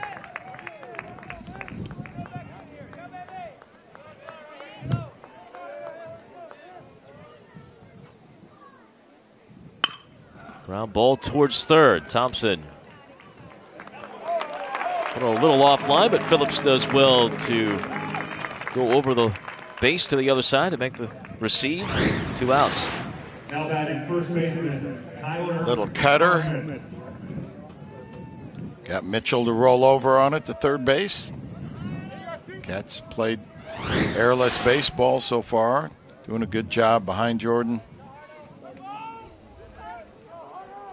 Tyler Hardman 0 for 2. Ground out and a flyout. Middle third of the order has really struggled. Really, top six hitters in the lineup have struggled against Wicks. First pitch will miss. It's the bottom of the order that's provided all three hits today for the Sooners.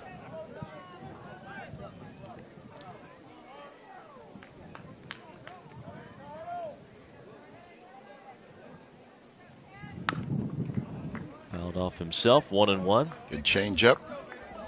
A lot more of the changeup here, second, third time through for Wicks.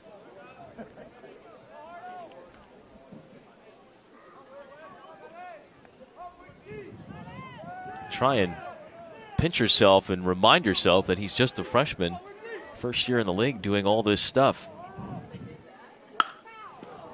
And a line shot over the head of Hughes into left field for a base hit. So Hardman will pick up his second hit of the series and a two out runner for the Sooners. That was a great job of hitting. That was a slider that just right down it, right at his ankles, and he was able to square it up and lift it up over Thomas Hughes at shortstop for a base hit. Connor McKenna, 0 for 2 in the bowl game, struck out his last time up.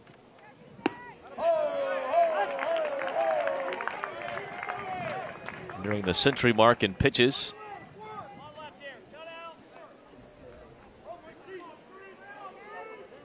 Wicks trying to finish off this inning with another zero.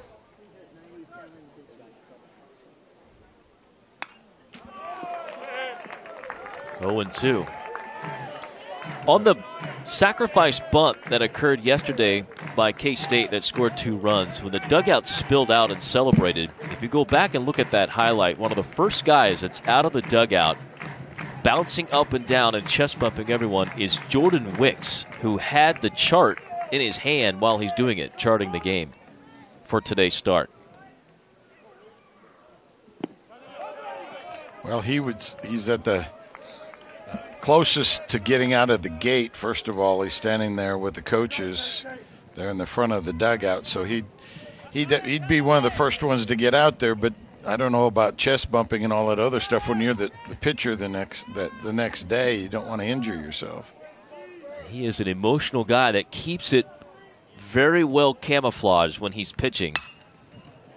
One two fly ball to right. Kokoska will make the grab. Jordan Wicks makes seven innings of shutout baseball look easy on a Sunday. K State Baseball is brought to you by K State Global Campus. Earn a degree from Kansas State no matter where you live. K State Global Campus, expanding campus to you. Pepsi. proud beverage sponsor of the Wildcats for more than 40 years. And by the Kansas Lottery. Dream bigger with the Kansas Lottery.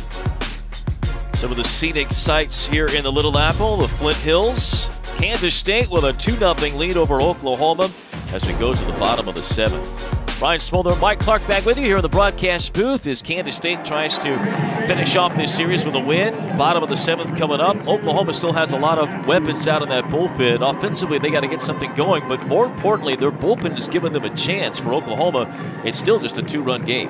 It is. Uh, Wicks has thrown tremendous, only been at one high uh, uh, energy inning that he really had to struggle a little bit but just been outstanding. K State's been very opportunistic in, in, in scoring the two runs, took advantage of uh, breakdown and bunt defense, and and it's just been a great ball game. Kind of the game we thought it might be when you have two good freshman pitchers going after each other, two good defenses, and it's been a fun game to watch. Last two innings going to be interesting. Yes, they are, and we'll see a new pitcher out for Oklahoma as they turn to Zach Matthews, sophomore out of Wellston, Oklahoma. ERA of an even four, 19th appearance on the season. Matthews, an ERA of just under five in Big 12 play, but walks to strikeout ratio, as you can see there, very good. 18 innings, 23 strikeouts, only four walks for the sophomore righty. And he'll be on the hill now to face Kansas State's Phillips, Littlejim, and Passano. That's the six, seven, eight hitters. A lefty, two righties for K State here in the home half of the seventh. The Wildcats have scored in the later innings, the last three innings of the ball game. They have scored a combined 16 runs in the last three innings of their last three home games. Phillips, after the first pitch, fouls it off for strike one. That's the Sunday or Saturday TCU finale. The Friday night game and the game here yesterday. 16 runs in those nine innings, the last three at bats of the last three home games. I think it shows the attitude of the kids and the coaching staff, what they've been able to instill in the players. They don't give up, doesn't matter what the score is, and saw that last Sunday against TCU, but also saw it in the game that the Cats lost Friday night where they came back and and got four runs on the board, lost eight to four. Off the end of the bat by Phillips out to center field. And Treadaway with the sunglasses on will make the grab for out number one. Jared Godman went two and a third innings, facing eight, allowing just one hit, striking out three. Now Matthews, and you would figure Ruffcorn's behind him as insurance should Oklahoma be able to get the lead. Caleb Littlejim has one of the six hits today for K State.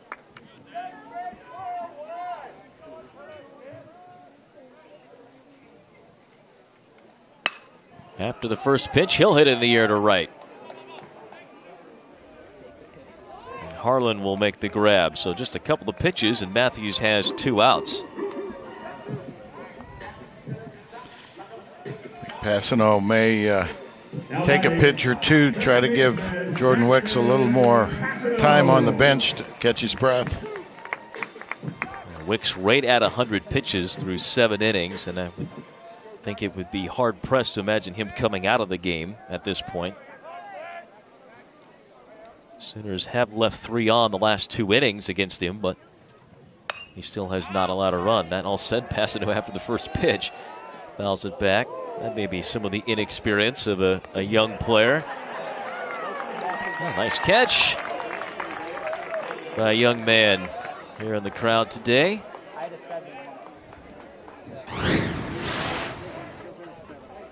Off the bounce. It's my baseball. it's great that the fans get to keep the baseballs and take them home. Good souvenirs. Chopper left side will be foul. There was a time, right? There was oh a time. We had the balls numbered when I coached. Half of them batting practice was taped balls. We've reminisced about this before, but I, I, remember the first year that it was it, it was a huge deal here at K State that suddenly foul balls you could actually keep them. the fans could keep the foul balls. That was a big hurdle to be cleared. Well, it's college baseball's come a long way. The sport in general, but also here at K State. What was really tough for the uh, players because there was a freshman that had to go out and take the ball That's away right. from from little kids That's who'd, right. run, would run down the ball. No upperclassman wants that job. Hey, freshman and Rook, go up there and be the bad guy.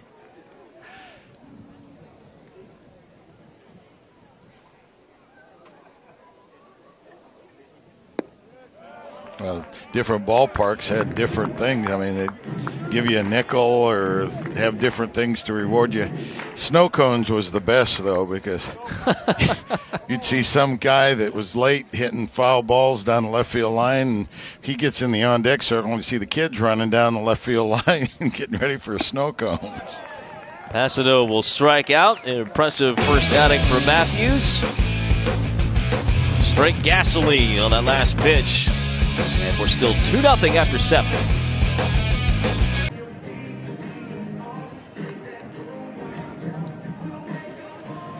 Jordan Wicks with a 2 0 advantage as he heads to the eighth inning. 100 pitches for Wicks.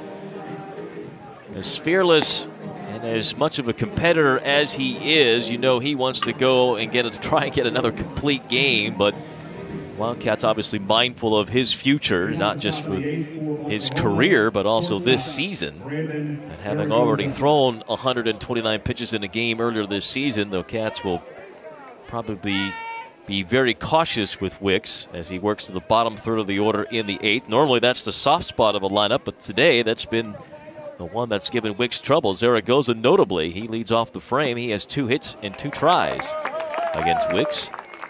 Zach, Zach Kokoska, the right fielder, has gone over.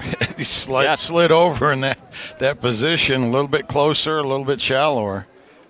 You called it. Said K State might want to shade into that spot after two little dunkers out in that right center area. You can see Kokoska playing much shallower in right field and shaded more towards right center.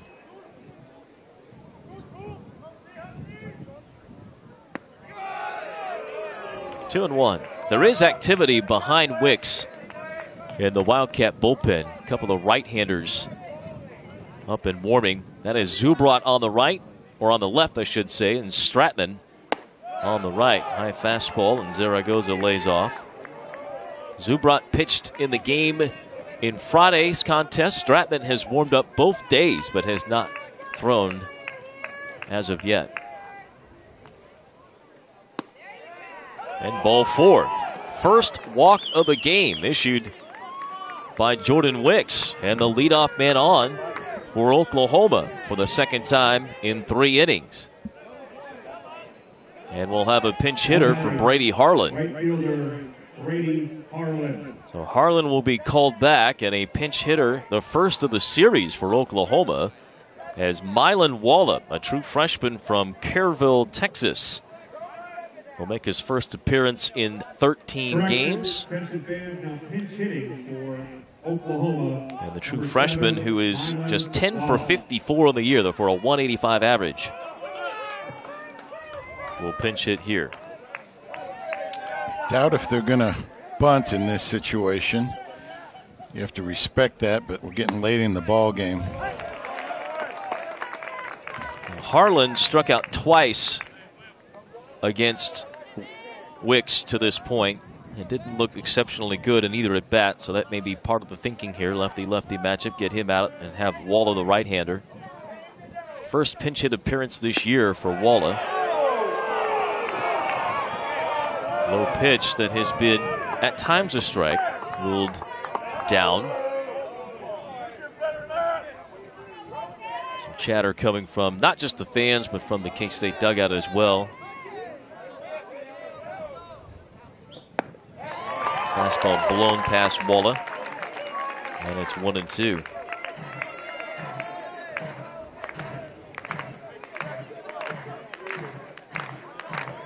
Walla, a former 15th round draft choice of the Royals last summer. Big kid. See if they try to go downstairs with him again. Breaking ball pulled fair down the third baseline and towards the corner. Zaragoza will go to third and stay there as the throw comes in, but the Sooners have the tying runs in scoring position. Walla with his fourth double of the year. Some sort of an off speed pitch, like a little slider or cutter that just stayed up in the zone, and Walla was able to just keep it fair down that third baseline. And the Sooners now have runners at second, third. First time a runner at third base here today. Well, this is what we talked about just a moment ago. As good as Wicks has been, and as much confidence as K State may have in the game to this point, it's still only a two run game. If you're Oklahoma, you feel like you have the upper hand if you can get Wicks out of the game and get to the bullpen. Yep, that's. Buck went out there, settle him down, get him refocused. We got Treadaway at the plate. A very good bunter, so perhaps Oklahoma thinking squeeze play here. K State may have to be on their toes. Wicks, after the conversation, will be allowed to try and get out of this. Nobody out. Two runners in scoring position to tie the game for Oklahoma. Looking to break up this shutout against Jordan Wicks.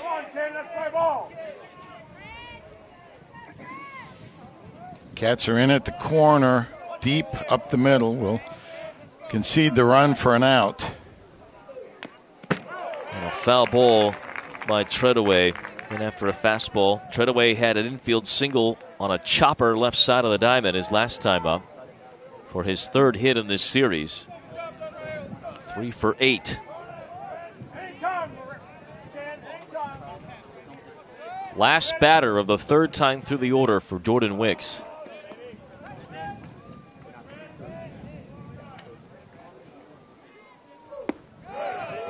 Another good breaking pitch, but ruled down.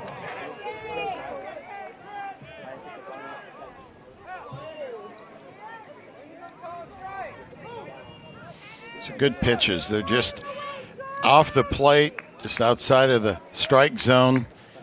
Sooners have been laying off of them rather than swinging at them. Line towards right. Kokoska's got to play it on a hop. Oklahoma has halved the lead. And the bottom of the order does it again for the Sooners. Fastball outside part of the plate. Treadaway did a great job, just stayed square with it, lined it to right field. Ball was back up in the zone again. He's been, Jordan's been up a little bit more here the last couple innings. Sooners have taken advantage of it.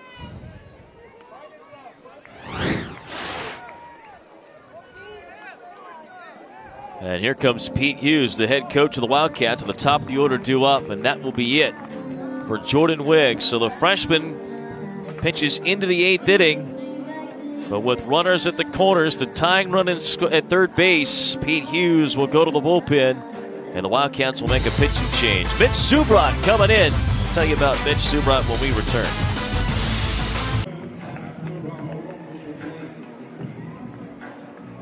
Jordan Wicks, Kansas State's freshman starter, had a shutout going to start the eighth inning, but Oklahoma threatening. He has been removed from the game, but here is the performance from Wicks today, who struck out five, only allowed six hits, the one run, and only walked one. It was in this frame. Wicks again special, Mike Clark for K State. Now the bullpen's got to pick him up.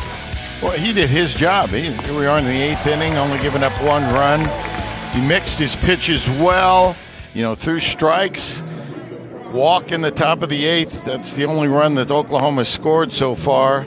Started getting the ball up in the zone just a little bit, but my gosh, he gave Kansas State everything that they needed. Knew it was going to be a low scoring ball game, and he went out there and and gave Kansas State a great, great seven innings. 112 pitches for Wicks in seven frames, and now Mitch Zubrat takes over. Second appearance of the series. Zubrat threw in the Friday game, went two thirds of an inning, came in with the bases loaded. Unfortunately for him, gave up a couple of hits, and all three runners he inherited would come around and score, while his line ended up with a zero. Eric Torres ended up with a couple of runs on his final ledger. There are the numbers on the season for Zubrat, who still ranks among the Big 12's best when it comes to closers. Four saves, 1.33 ERA, which leads the team 26 strikeouts in 20 and a third innings. Muniz will be the first to face Zubrat. And he'll swing and miss at the slider, which is one of Zubrat's best pitches for strike one. Muniz singled off of the bullpen in the game yesterday. Did not face Zubrat in the game on Friday. In fact, both of Muniz's hits in this series have come against K State's bullpen. And a ground ball through the left side here. He does it again and ties the game. It's another slider. This time got a little bit too much of the plate. And Muniz was able to pull it past Thompson at third base, who was in in case of the bunt. And so Oklahoma with first and second, probably a pretty good situation for a sacrifice bunt in this situation. Still nobody out. The chance for the big inning for Oklahoma. And Lindsly is already squared and gets the bunt down third base side. Thompson fields, throws, and gets the runner, but the runners advance that were on base. So sacrifice for Lindsly is the first out. And now the lead run at third base. And an insurance run in scoring position for Brylie Ware. The Cats are going to put him on. Intentional walk for Ware. Set the double play up. And now Justin Mitchell against Zubrat. Now Mitchell faced Zubrat with the bases loaded, and he'll be called back. So he won't get a chance to repeat what he did the first time, which was single on a ball similar to that we just saw from Muniz, punching it through the left side. Mitchell will be called back and a left-handed pinch hitter. Vujovic has not played in this series. Jordan Vujovic is a redshirt sophomore from California, transfer from Delta College. He has played in a majority of the games this year, but scuffling here as of late, just eight for his last 43 with 12 strikeouts in 16 games.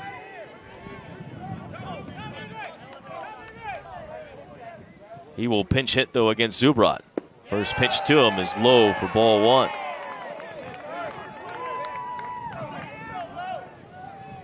Mitch trying to get a ground ball at an infielder, turn the double play. Trying to get out of this inning. Vujovic is looking to get a fly ball someplace to get the run home.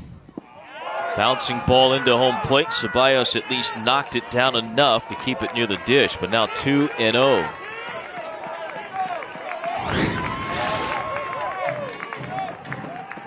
Fastball just spiked it right in front of home plate. Ceballos did a great job blocking it, keep it in around home plate.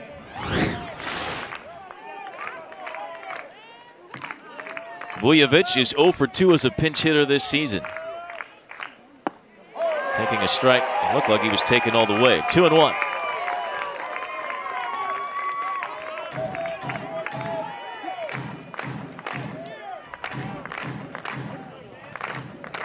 Wildcat faithful trying to help out Zubrat.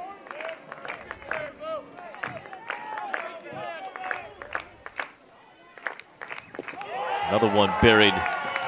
Three and one. Well, nowhere to put him.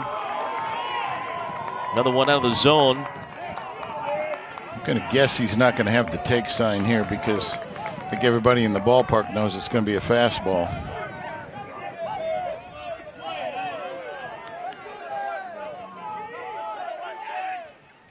Ball four.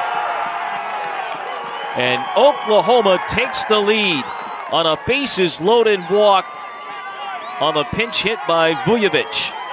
And it's 3 2 Sooners. Now batting first baseman Tyler Hardman. Still just one out.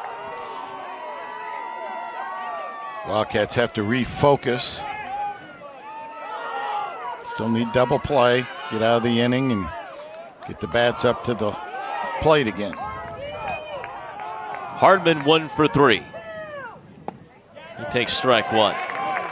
That'll finish the line for Wicks. Seven innings, three runs, a walk, and five strikeouts. for a guy that had a shutout going into the eighth. Tough line to finish with, but the bullpen let him down. And K State will have to play some come from behind baseball again. Slider gets Hardman out in front, 0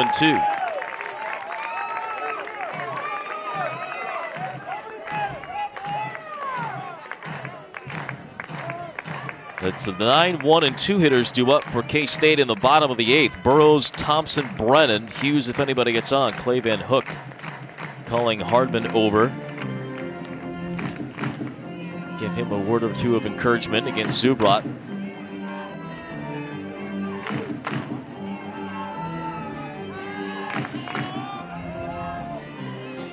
These are your character times right now, whether it be the pitcher or infield. Had a rough inning, had a big lightning bolt hit here in the eighth inning. Cats need to refocus. Get out of this inning. And a slider that's fouled away. That one stayed up a little bit too much. Got no two count. You have to have faith in your catcher that bury a slider there in front of home plate, get a swing and miss. He'll be able to block it.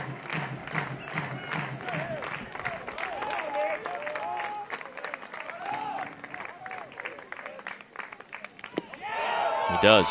Great job.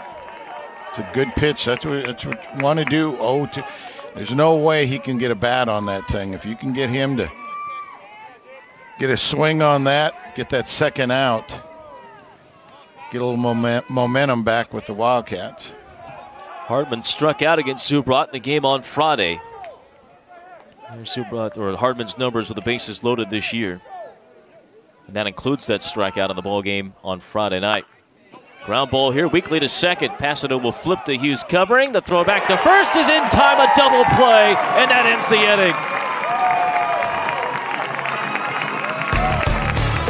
So Zubrat gets the double play, ground ball he wanted, and the Cats avoid further damage.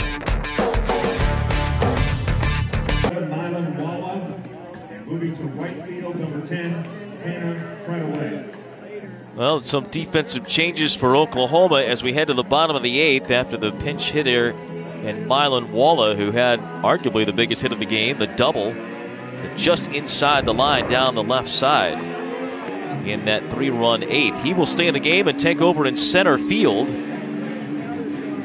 And Tanner Treadaway will move to right field here in the eighth. And the Wildcats will try to come from behind, down 3 2 There's a look at Treadaway now in right field. Harlan out of the game. Well, the hard throwing Matthews, who came in and got a 1 2 3 7. 94 to 95 with the fastball. Occasionally 97 for Matthews. Big time gas against Burrows, Thompson, and Brennan here in the eighth. Cats just need one to tie this thing up.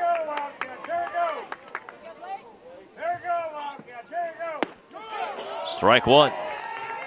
Burrows is singled on a bunt and struck out. His first look at Matthews. Bullpen today for Oklahoma has been exactly what they needed.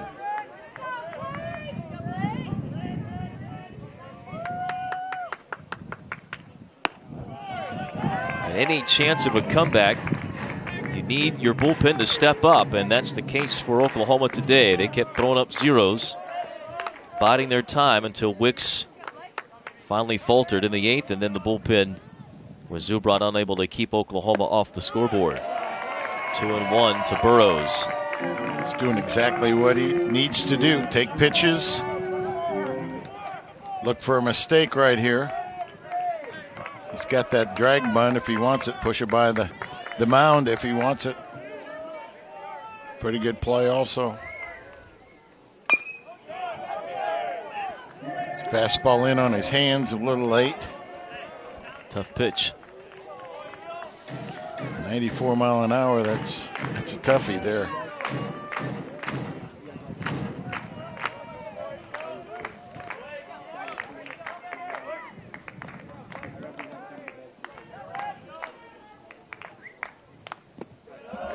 overthrown. Three and two.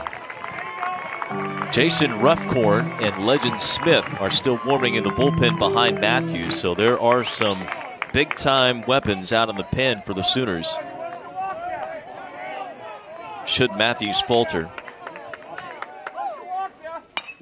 3 2 hit on one hop towards second. McKenna on the run will throw out Burrows. One out in the eighth. Cats back to the top of the order now.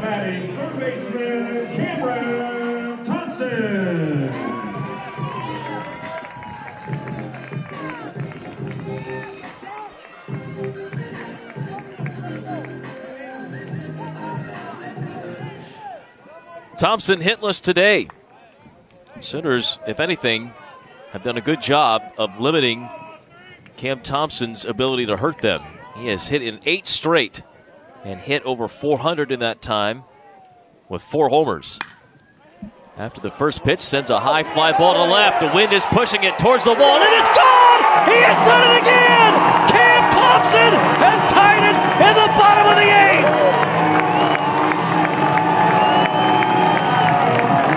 An oppo jack for Thompson! He got a fastball up, out over the plate, and went with it.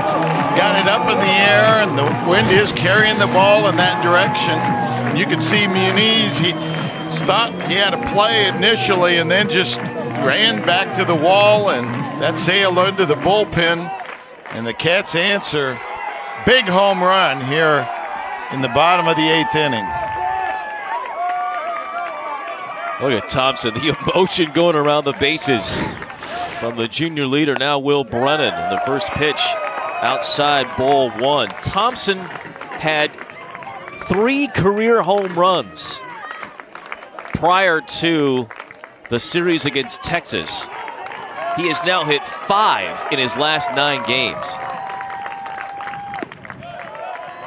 Off speed pitch by Matthews in for a strike. One and one to Will Brennan. And yet again, the eighth, the seventh, eighth, ninth innings for K State. They have tied the game and grabbed momentum back.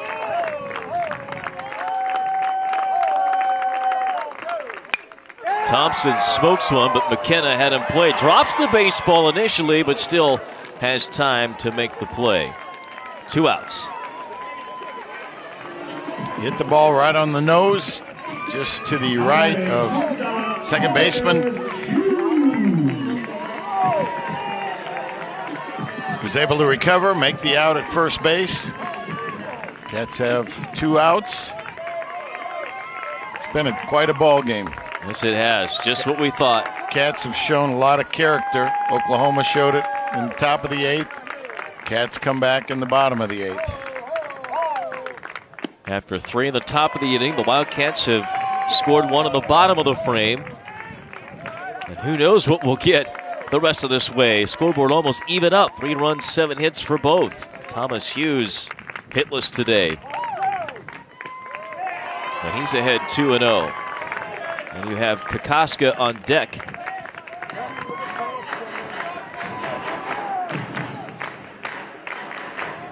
That's only the second home run allowed this year by Zach Matthews.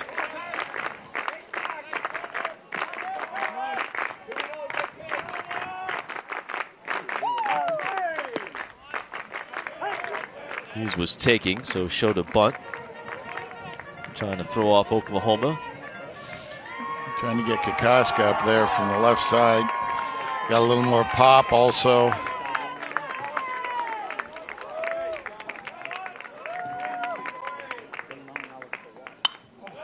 Fouled back by Hughes. And Oklahoma a strike away from ending the eighth, going to the ninth, all tied. Well, we mentioned before that this is not a sellout crowd today after two sellouts the last two days. A little chillier weather today, rain expected in the forecast, thankfully for later. But what crowd there is has been vocal and into the game. Full count. Good take. The slider away.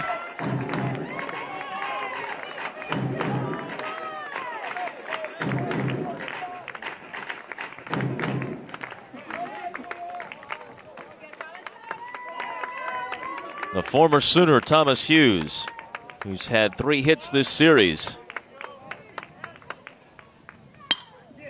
Pokes one out to right field shallow, but coming in is the right fielder Treadaway and he'll make the grab for the final out. But Cam Thompson, a sudden power surge continues. Flies one out the opposite way for his eighth career home run in fifth this season.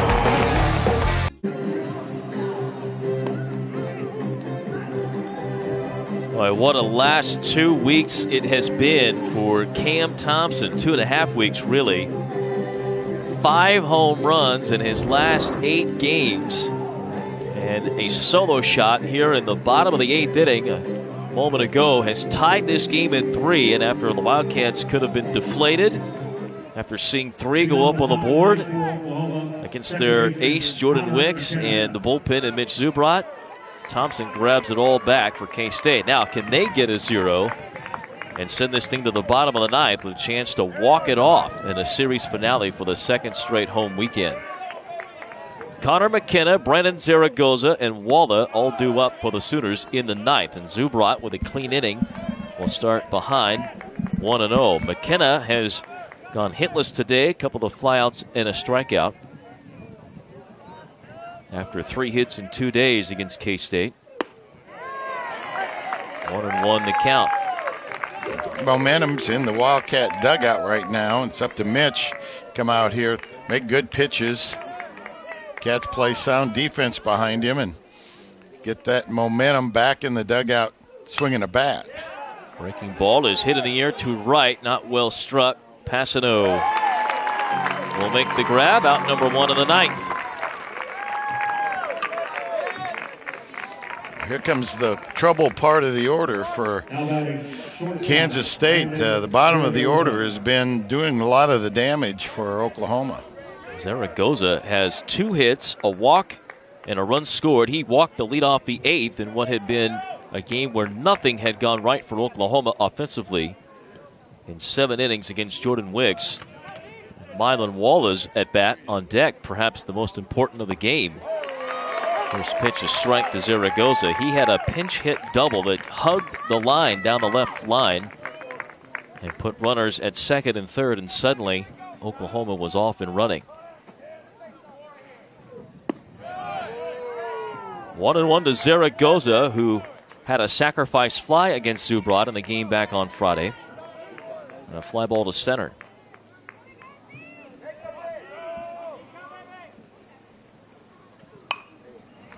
It's this one in the air, but foul.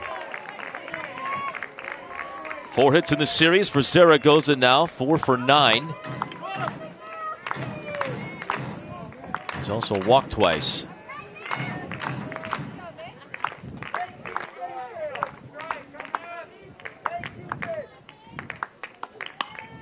Hanging slider off the end of the bat. Thompson will take care of it in foul ground. Mitch usually gets ground balls, but back to back pop ups here in the top of the ninth. Just need outs if you're K State. Bottom of the ninth will be Kokoskis, Ceballos, and Phillips. Will the Sooners stick with Matthews or will Ruffcorn, the closer, be coming in? First pitch to Walla is a strike.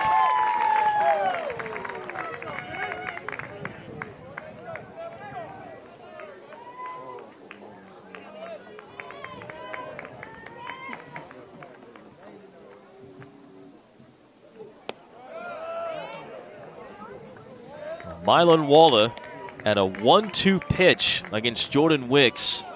Able to hug one down the line that, again, was fair by mere inches. And that is the difference right now for Oklahoma. And his first pinch hit appearance of the season, no less. The true freshman came up with that big hit. Mitch has done a good job here at this at bat, keeping the ball down in the zone. Fastballs and sliders.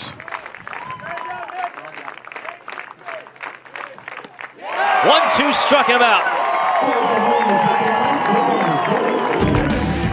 Well, Zubrat gets a 1 2 3 ninth, and the Cats a chance to walk off another Big 12 opponent.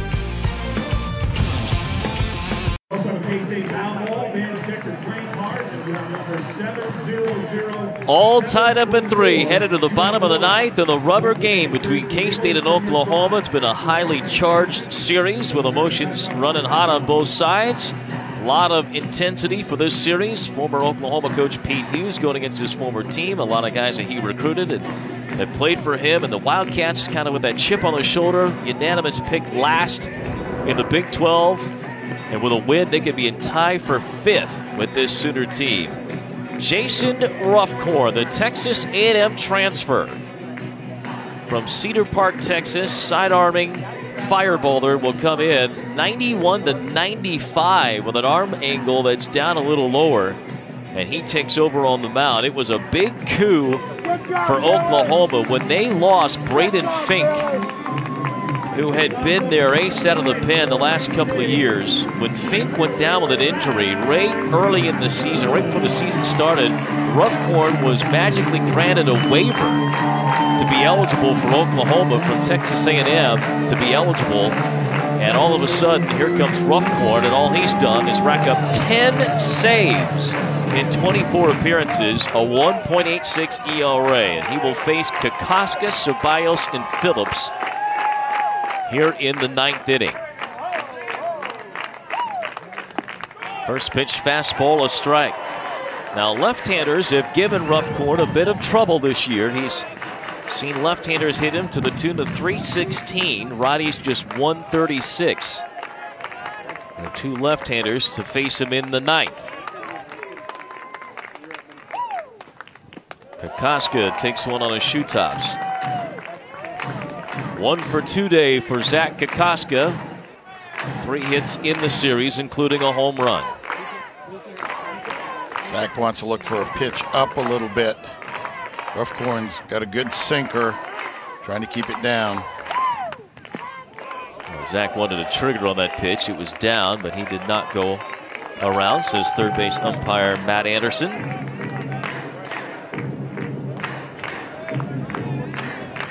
Numbers on Kokoska, who has been even better in this ballpark. He has really played well in the Little Apple, hitting 370 and slugging well over 600. A Little nice backup to that pitch by Ruffcorn. Two and two.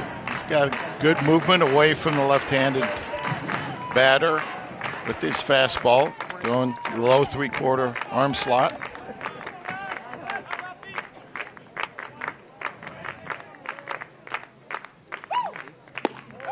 2-2 just underneath his hands. That is a great pitch from Ruffcorn and perhaps a missed strike call by the home plate umpire, Bill McGuire.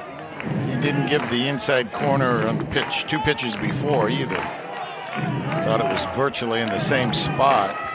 You can see Skip Johnson in the background there shaking his head. He can't believe it. Zach can't give up on that pitch that is inside because of the tail, the movement of that fastball. Foul ball right side. Well, that pitch was outer half. Does Ruffcorn come back in? That's where it would appear you'd want to attack Kokoska, who again strides towards the plate the way that he does. They do, and Kokoska ropes it into right field for a base hit. They wanted that fastball inside. The Ruffcorn left it out over the middle of the plate. Kokoska did a good job, short stroke. Just pulled it into right field for the base hit. Leadoff batter on.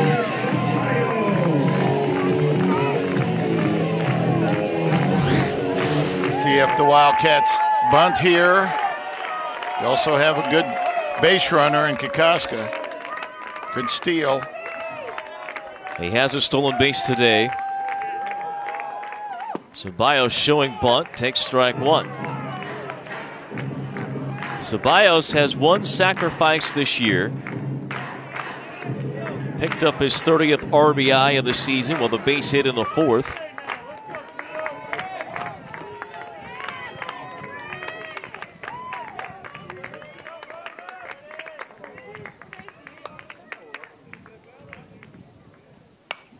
Gets jammed and fouls it off. So not bunting there. Now it's 0 2. Boy, he had a good pitch to hit right there. Just missed it. Fouled it straight back. Fastball up in the zone. Love to have that one back. Might see Oklahoma pitch out here or try to do something to upset the running game.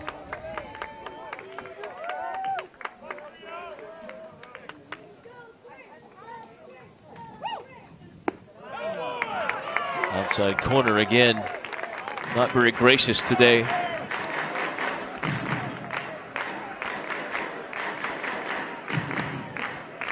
lot of Wildcat fans standing here in this bottom of the ninth.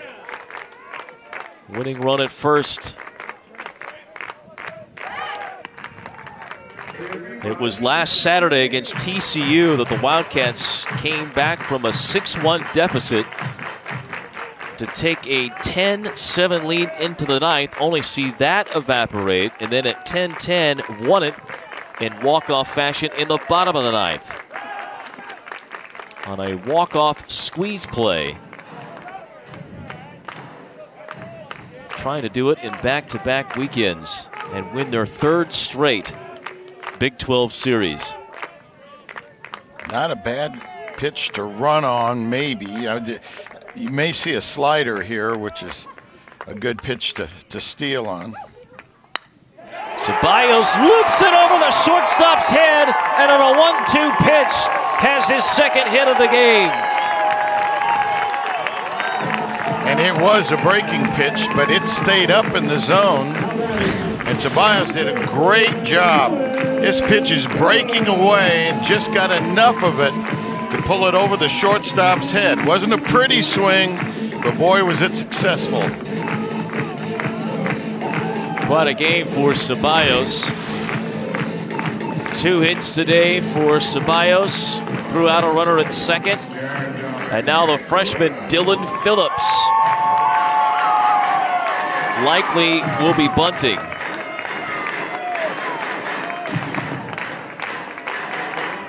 The Wildcats are thinking about pinch runner over at first base. They're going to get a little time to think that over. Skip Johnson, head coach for Oklahoma, who serves as the pitching coach, will head out to the mound to talk with his entire infield. And this likely to discuss all of the options because K State has shown the last two days that they will do virtually anything offensively. So if you're Oklahoma, you have to be worried about bunt coverage. You got to be worried about guys trying to score from second on a bunt. I mean, all of it is in play right now for K State, especially with the speed of Kokoska. And I think we might have a pinch hitter here for Dylan Phillips. Rainer Ausmus has come out of K State's dugout.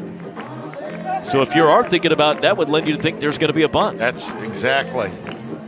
He's laid down some big bunts last weekend, important pressure packed bunts. Now, Ruffcorn's going to be one to be tough to bunt off of because of his movement and how hard he throws.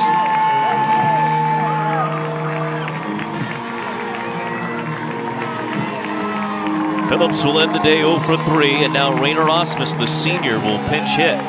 And normally you would not remove a left-handed bat for a right-handed bat against a righty on the mound. But again, two things. One, Ausmus, one of the best bunters on the team. But two, Pete Hughes said it before the Texas series. He said, Brian, we're an unconventional team. We got to start thinking unconventionally and going against some of the traditions of baseball. That's when K-State shook up their lineup, put Wicks on a Sunday, Hughes in the number three spot, and they have taken off since that point. It was Ausmus who won the game against TCU with a squeeze play last Saturday, already squaring here against Ruffcorn. And the bunt nearly hit him. That's too bad he couldn't get the bat out of the way because that ball would have hit him. Again, that movement into the right-handed hitter makes it very tough to lay a bunt down, to deaden a bunt on just that three-quarter arm slot.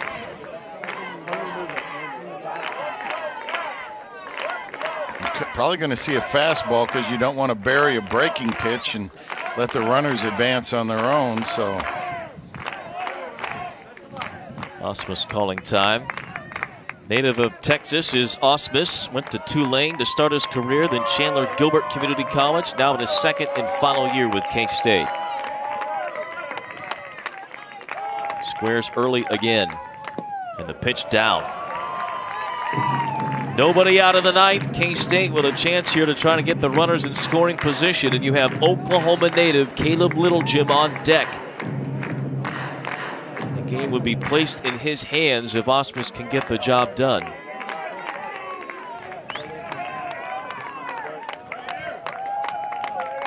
First baseman is charging hard, so anything hard his direction, they're probably going to go to third base with. Ausmus bunts to the pitcher, bobbled a moment, but Ruffcorn makes the play to third.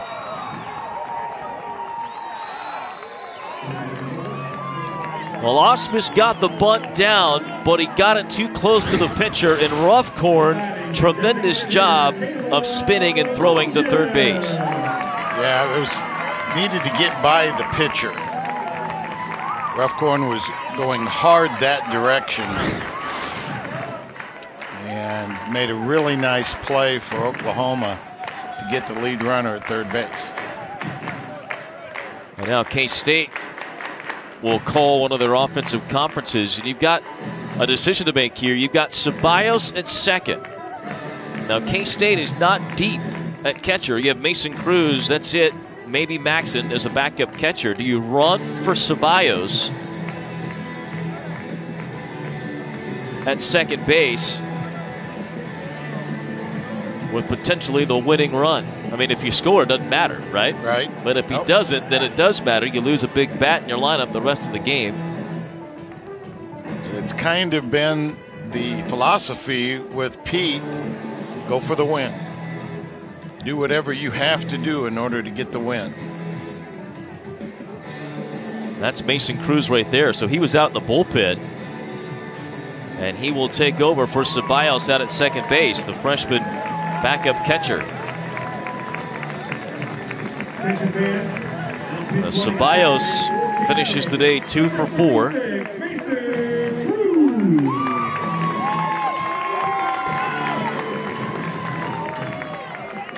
And it's up to Littlejim.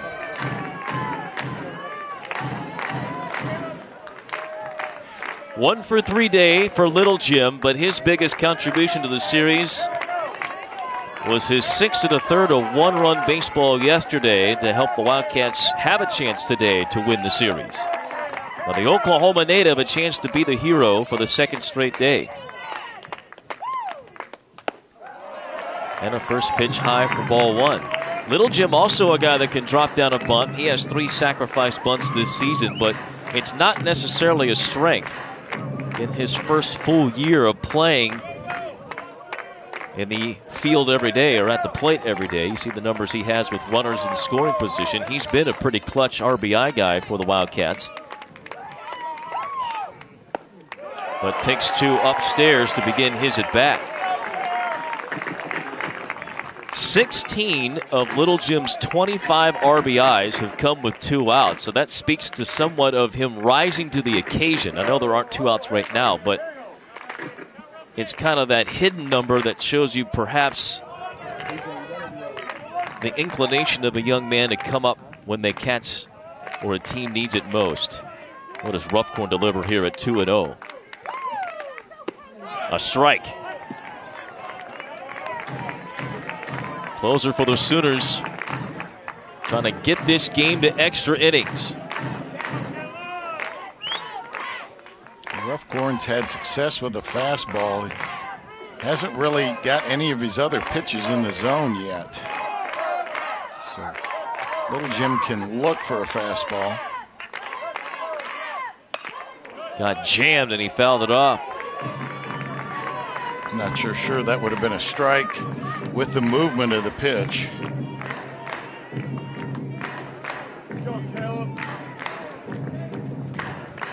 A lot of experience here at the bottom of K State's order.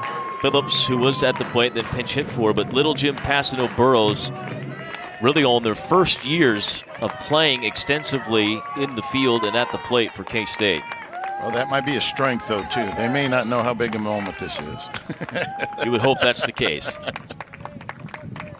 A 2 2 from Ruffcorn. Foul back. Just missed, had a good cut. Got a fastball up in the zone.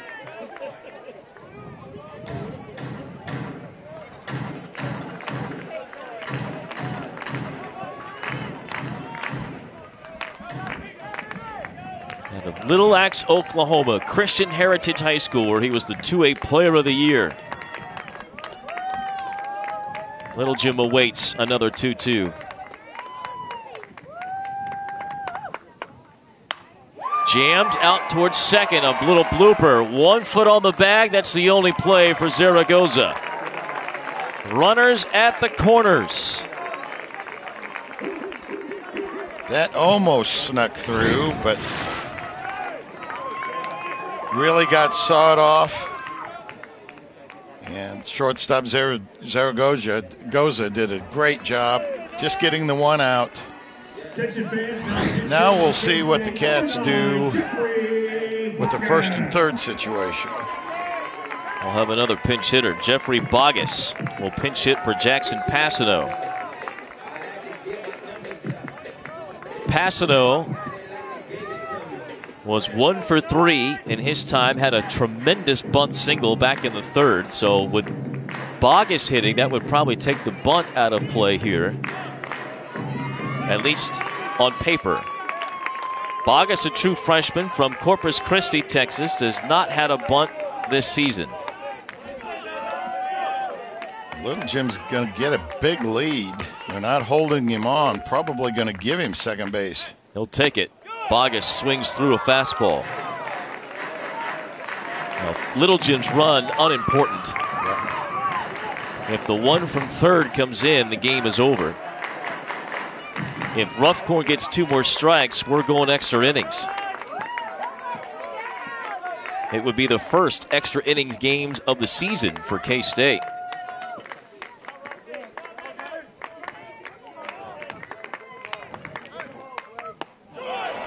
A pitch well out of the zone, and Bogus waved at it. Sometimes you try to do too much when you're up there in these situations. Probably going to see heat away also continued. Not going to throw the breaking pitch for fear that may get by the catcher. May be a wild pitch, so.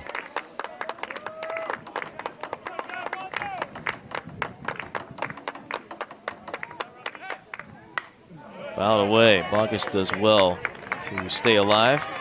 That was a good pitch. That was a hitter hitter's pitch right there. Ruffcorn got away with one.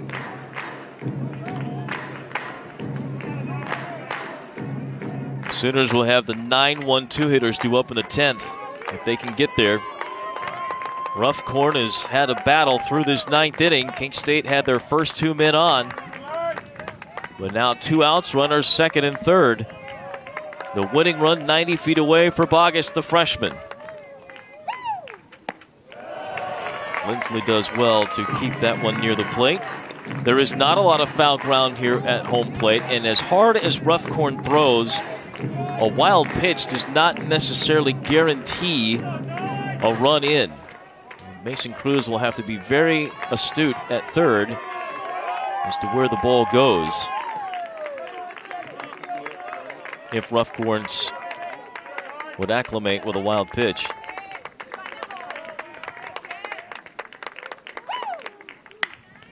In the air, shallow left. Zaragoza is out. He'll make the grab, and we are going extra innings in Manhattan. For the first time this season, extra innings for K State.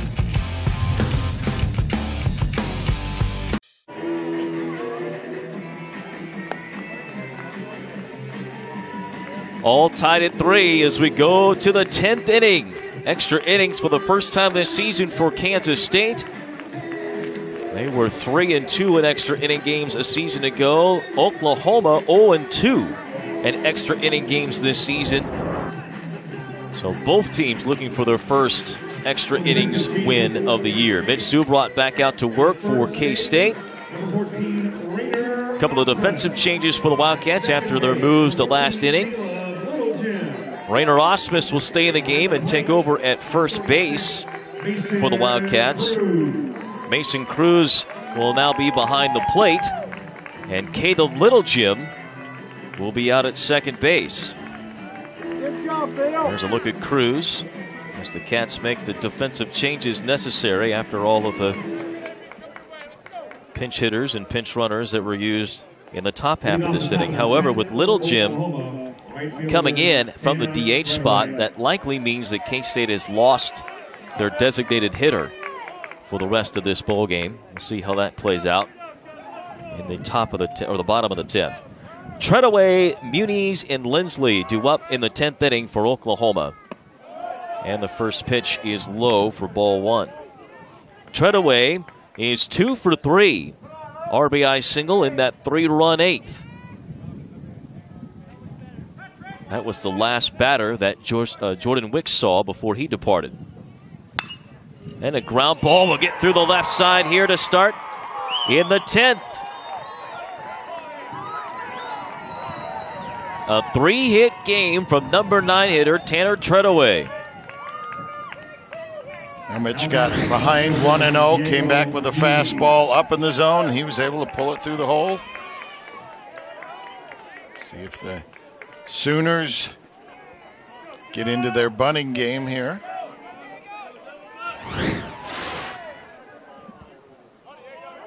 Muniz single to left to drive in a run off of Zubrat to lead off the eighth. He'll bunt and take a strike.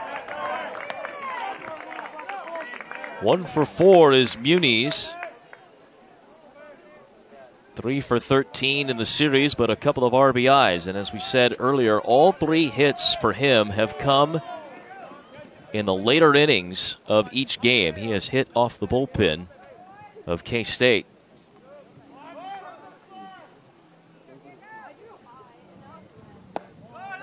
Slider crossed him up and may have crossed up the umpire. One and one.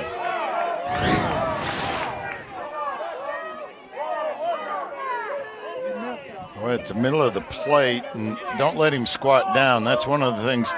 It may look like it's high there, but that's not his stance. That's he's he's taking about six inches down in his bunt foundation. Throw to first. Runner is back. Strike zone's established from his regular stance.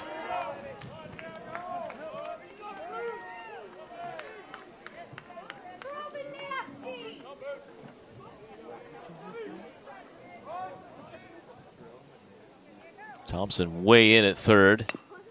The bunt first base side. The ball will go foul. It's good job. Good play by Rainer.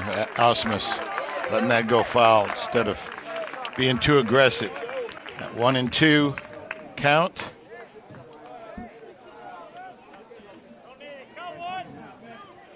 See if they keep the bunt on. Two strikes.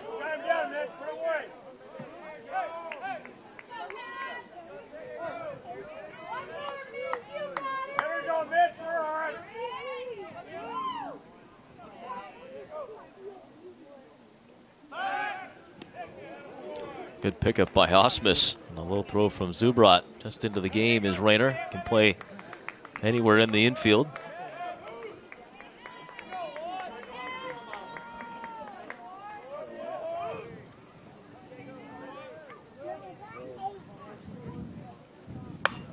Hanging slider crushed foul. You can see that coming up. That looked like a mistake pitch from Zubrat. And he wants that pitch down in the zone where you get a ground ball, possible double play.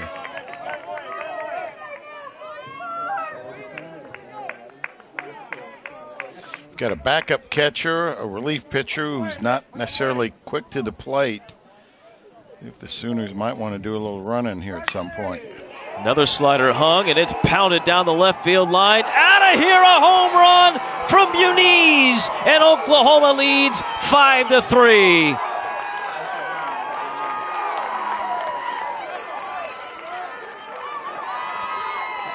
like you said, hanging slider, and he was sitting on it. And he put a charge into it. Dylan sign there in left field. Zubrat has to refocus now.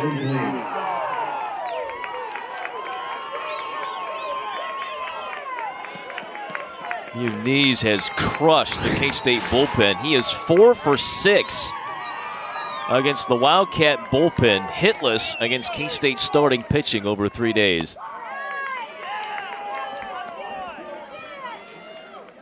You go, K-State went from having the winning run at second base with nobody out in the bottom of the ninth, and at third with one out, or two outs, I should say, to now down two in the tenth, and Zubrat behind two and zero oh to Lindsly.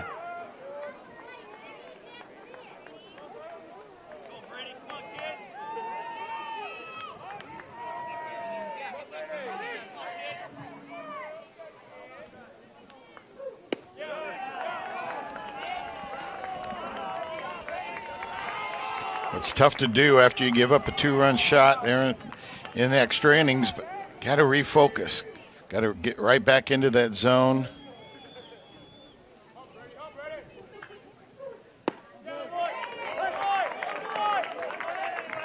Climb back, keep it at a two-run deficit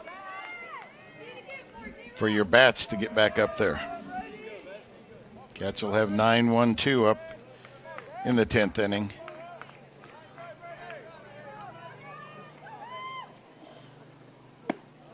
Talked about how emotionally charged this series was, and you have seen it here in just the last few frames. The ping ponging of emotion back and forth between these two teams, the momentum.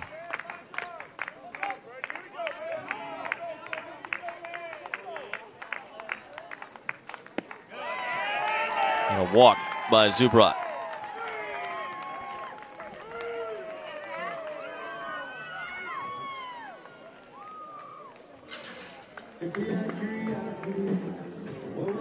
And Pete Hughes out to the mound. This may be it for Zubrat here in the 10th. And it is.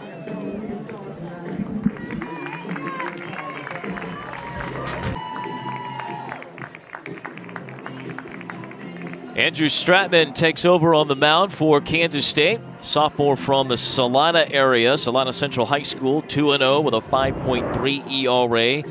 He becomes the third pitcher for K State. He'll take over for Mitch Zubrat, who gave up a two run homer in this inning to have K State fall behind 5 3. There are the numbers on Stratman 15 strikeouts and 18 and two thirds. Right hander at 88 to 92 with a fastball, slider, cutter. Repertoire for Stratman. He'll take over trying to turn around what's been kind of a rough last few games for him. He's allowed six runs in his last three outings. There's Pete Hughes, the head coach of the Wildcats. Boy, sometimes as a coach, you make all these moves and they pay off as they did yesterday for K State.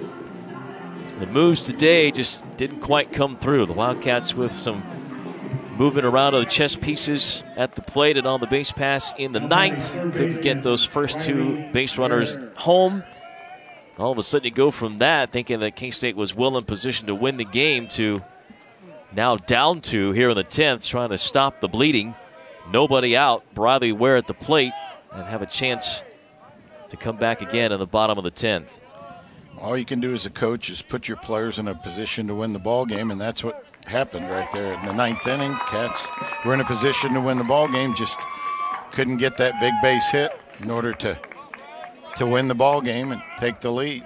Brylie Ware 0 for 3. He has walked. That was an intentional walk issued by the Cats in the eighth when the Sooners scored three. They've plated five runs in the last three innings, three in the eighth, two here in the tenth. They had nothing doing through seven innings against Jordan Wicks. But finally got a couple of runners to start in the eighth inning. Touched, touched him up for a run. Cats went to the bullpen to Mitch Zubrat, who unfortunately could not hold the lead. Zubrat had a 1 2 3 ninth, but ran into problems in the 10th, where fouls off a pitch from Stratman. As Mike mentioned, in the bottom of the 10th, K State will have their 9 1 and 2 hitters up Burrows, Thompson, Brennan.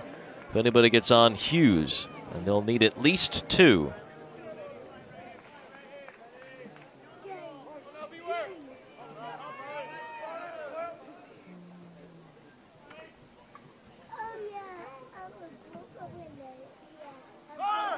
Runner breaks. It is a strike to Ware, but the throw by Cruz not in time. Lindsly steals second. Ware strikes out.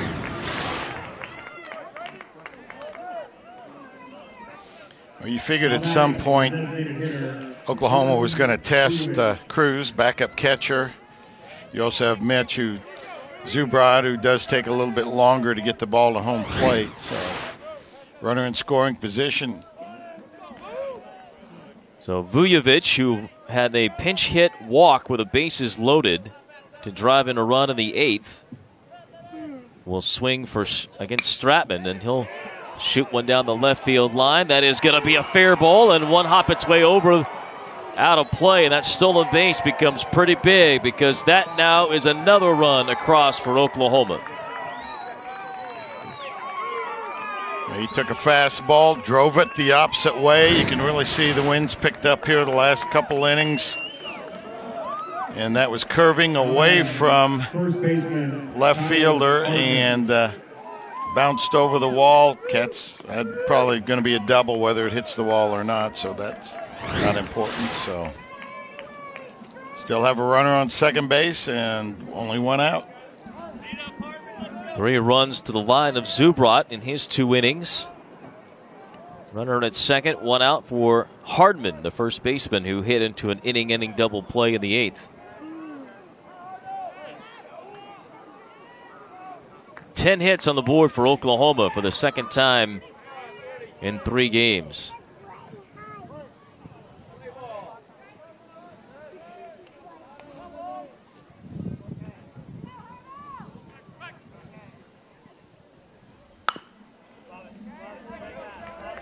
Hardman, after the first pitch, fouls it off.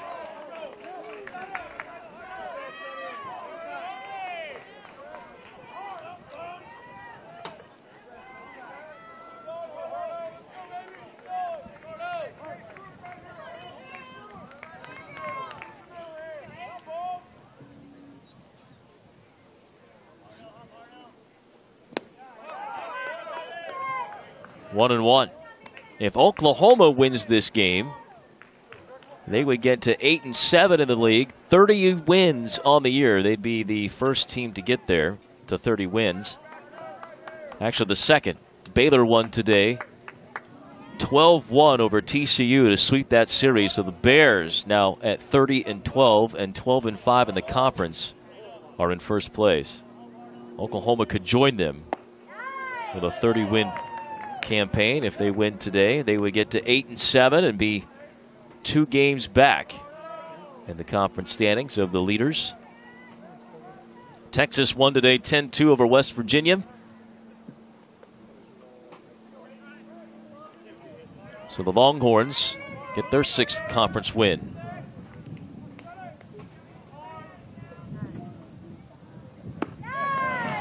A loss, sorry, yes, a loss for K State would drop them to six and nine and put them alone in seventh. Good cut fastball. Tried the breaking pitch, didn't get the call, came back with a cut fastball.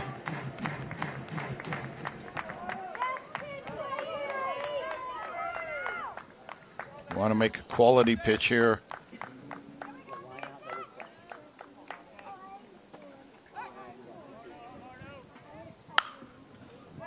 Lined foul onto the patio. Came back inside with a fastball.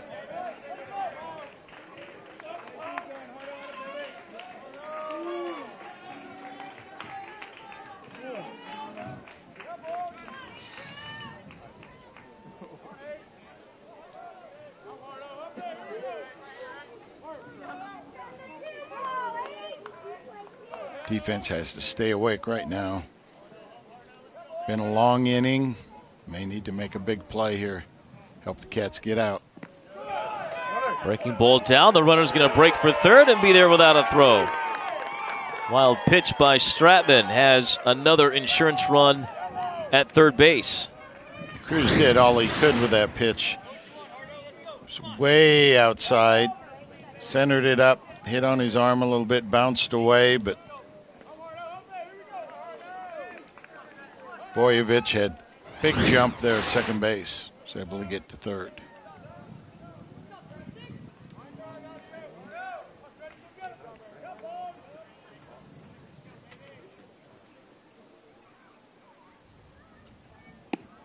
He'll strike out.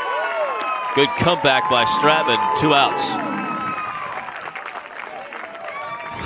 Big time pitch. Came with the slider outside part of the plate. Got the swing and miss. Two outs.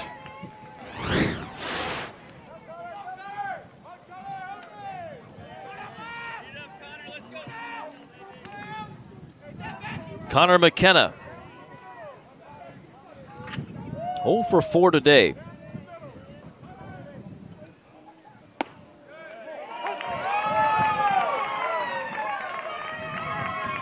Strike one. On a high breaking pitch that that has not been given a strike much of the game.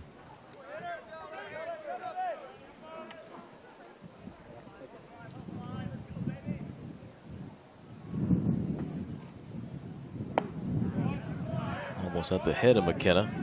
One and one. When he stuck his head down, he almost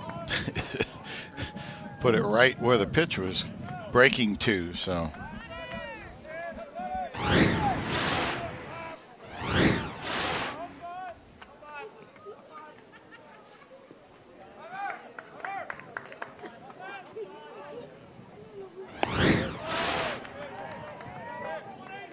Fastball out of the zone.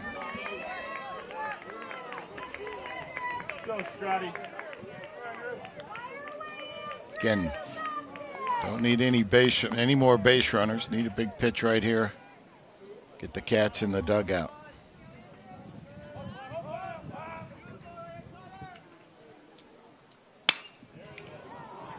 Out towards left and foul. Breaking pitch got out in front of it. Strike two. Need to get the pitch down in the zone now.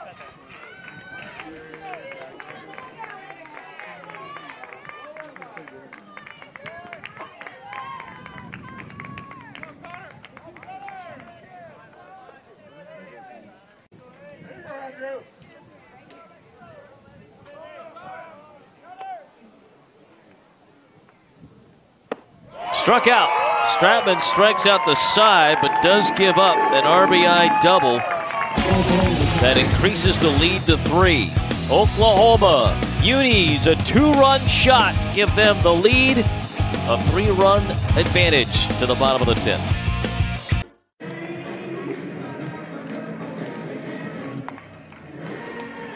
Kansas State down three, headed to the bottom of the 10th. They'll need some big time Tointon family magic if they're to come back and win this game. Jason Ruffcorn, closer for the Aggies, for Texas A&M for a couple of years, now closing for the Sooners.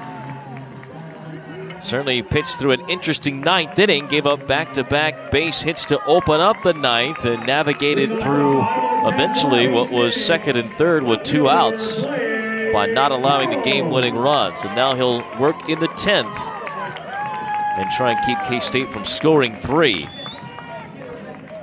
Burrows, Thompson, Brennan, three left-handers due up to face him here in the 10th inning. K-State's first extra inning game of the season, third for Oklahoma. They've lost both this year. Burrows one for three in his second straight start.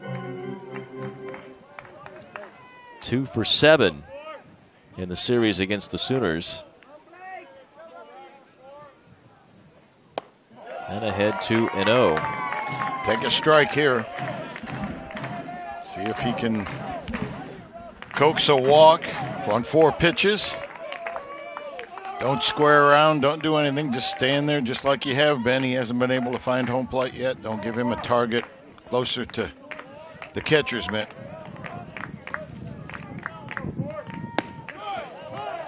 It's a good take. Good baseball right there. Despite Ruffcorn's great success this year, 1.86 ERA, Oklahoma hedging no bets. They have two relievers, a lefty and a righty, warming behind him. Two and two.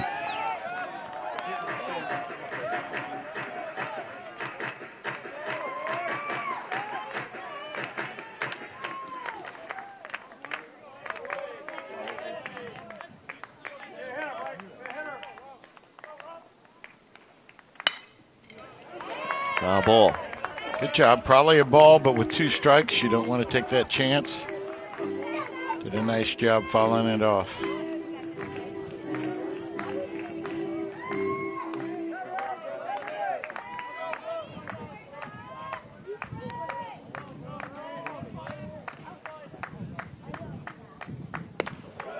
Full count.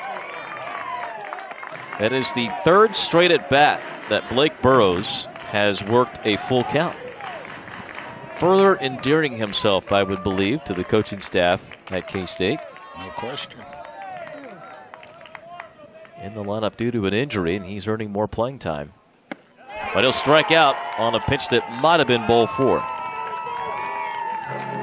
That'll bring up Cam Thompson. Unfortunately, not more runners on because the last time up, he was able to tie the game with one swing of the bat for his fifth home run here in the last eight games. Unfortunately for him, he can't tie it up with one swing of the bat right now. Still, nine game hitting streak for Thompson, the five homers in that stretch, 11 runs scored. The run scored is the important thing. That's what the Cats need right now. Base runners, get a couple of people on here, top of the order. Anything can happen. We've Cats have proven that the last couple weeks, three weeks.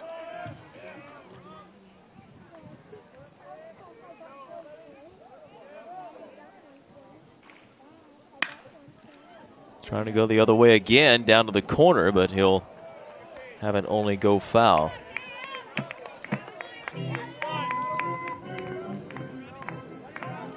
Great approach. The wind blowing the way it is right now.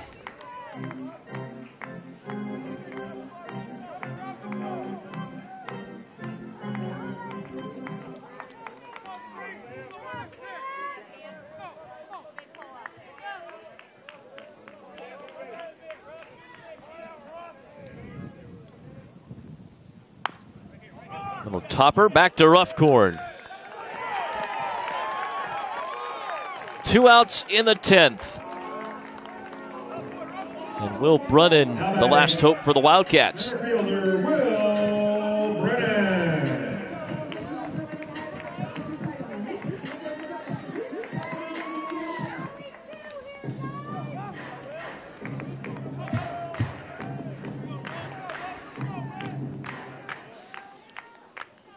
Will Brennan, one for four.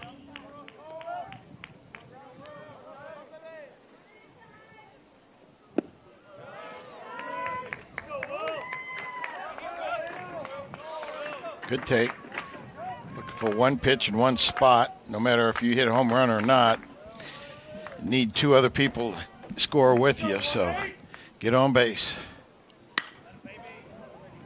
Fly ball that'll be foul down the left field line.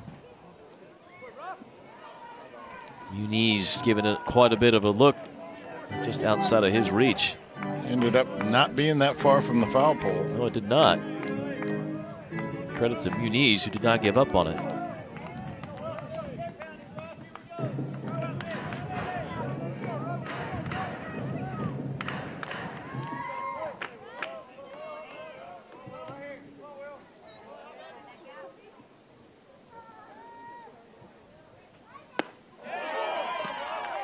And Oklahoma now a strike away from getting their first extra innings win of the season. Winning the series in Manhattan.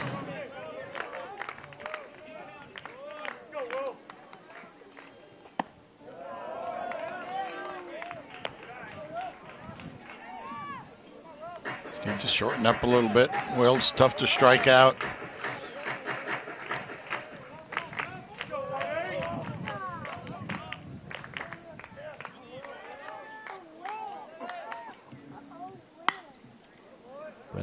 Golfs one foul. Staying alive.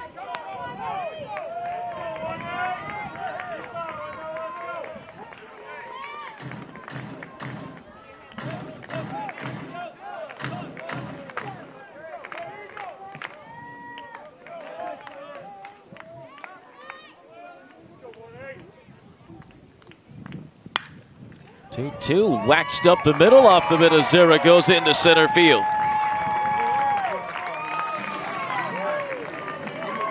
Great job, fastball. Took it right up the middle. Had enough on it this time. Was able to get through. Time to advance the, the line. I mean, that's Cats down to their last out. But Oklahoma has to get that last out. Has to earn it. See if Thomas can keep it going also. The former Sooner hitless today, but a good series against his former team. He'll take strike one. They'll see it nothing as poetic if they were able to finish the game against Hughes. Of course, Thomas would see the opposite if he was able to continue the game and give K State a chance. They were holding Brennan at first. Now the Sooners will pull Hardman off the bag.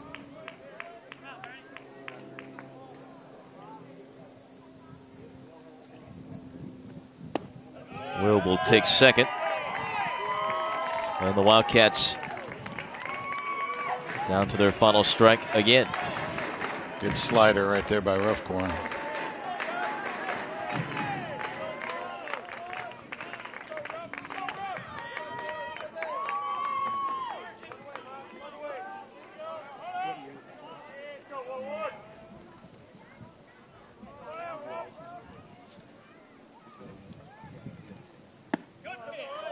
Just outside.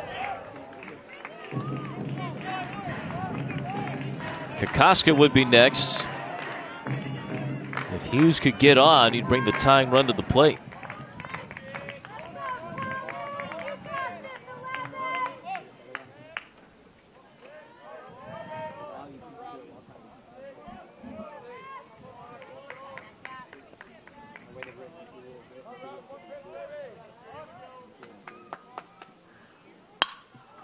Ground ball, backhanded by McKenna. His throw to first in time, and Oklahoma has won their sixth straight series against K State. Time to name our K State Global Campus Player of the Game, and it's that young man, Diego Muniz, who hits his second homer of the season. A two run shot off of Mitch Zubrat on the top of the 10th, part of a three run 10th inning and it gives Kansas State a loss at home in extra frames. The Sooners scored three in the seventh, three, or I should say three in the eighth, and three in the tenth, and go on to win this game six to three.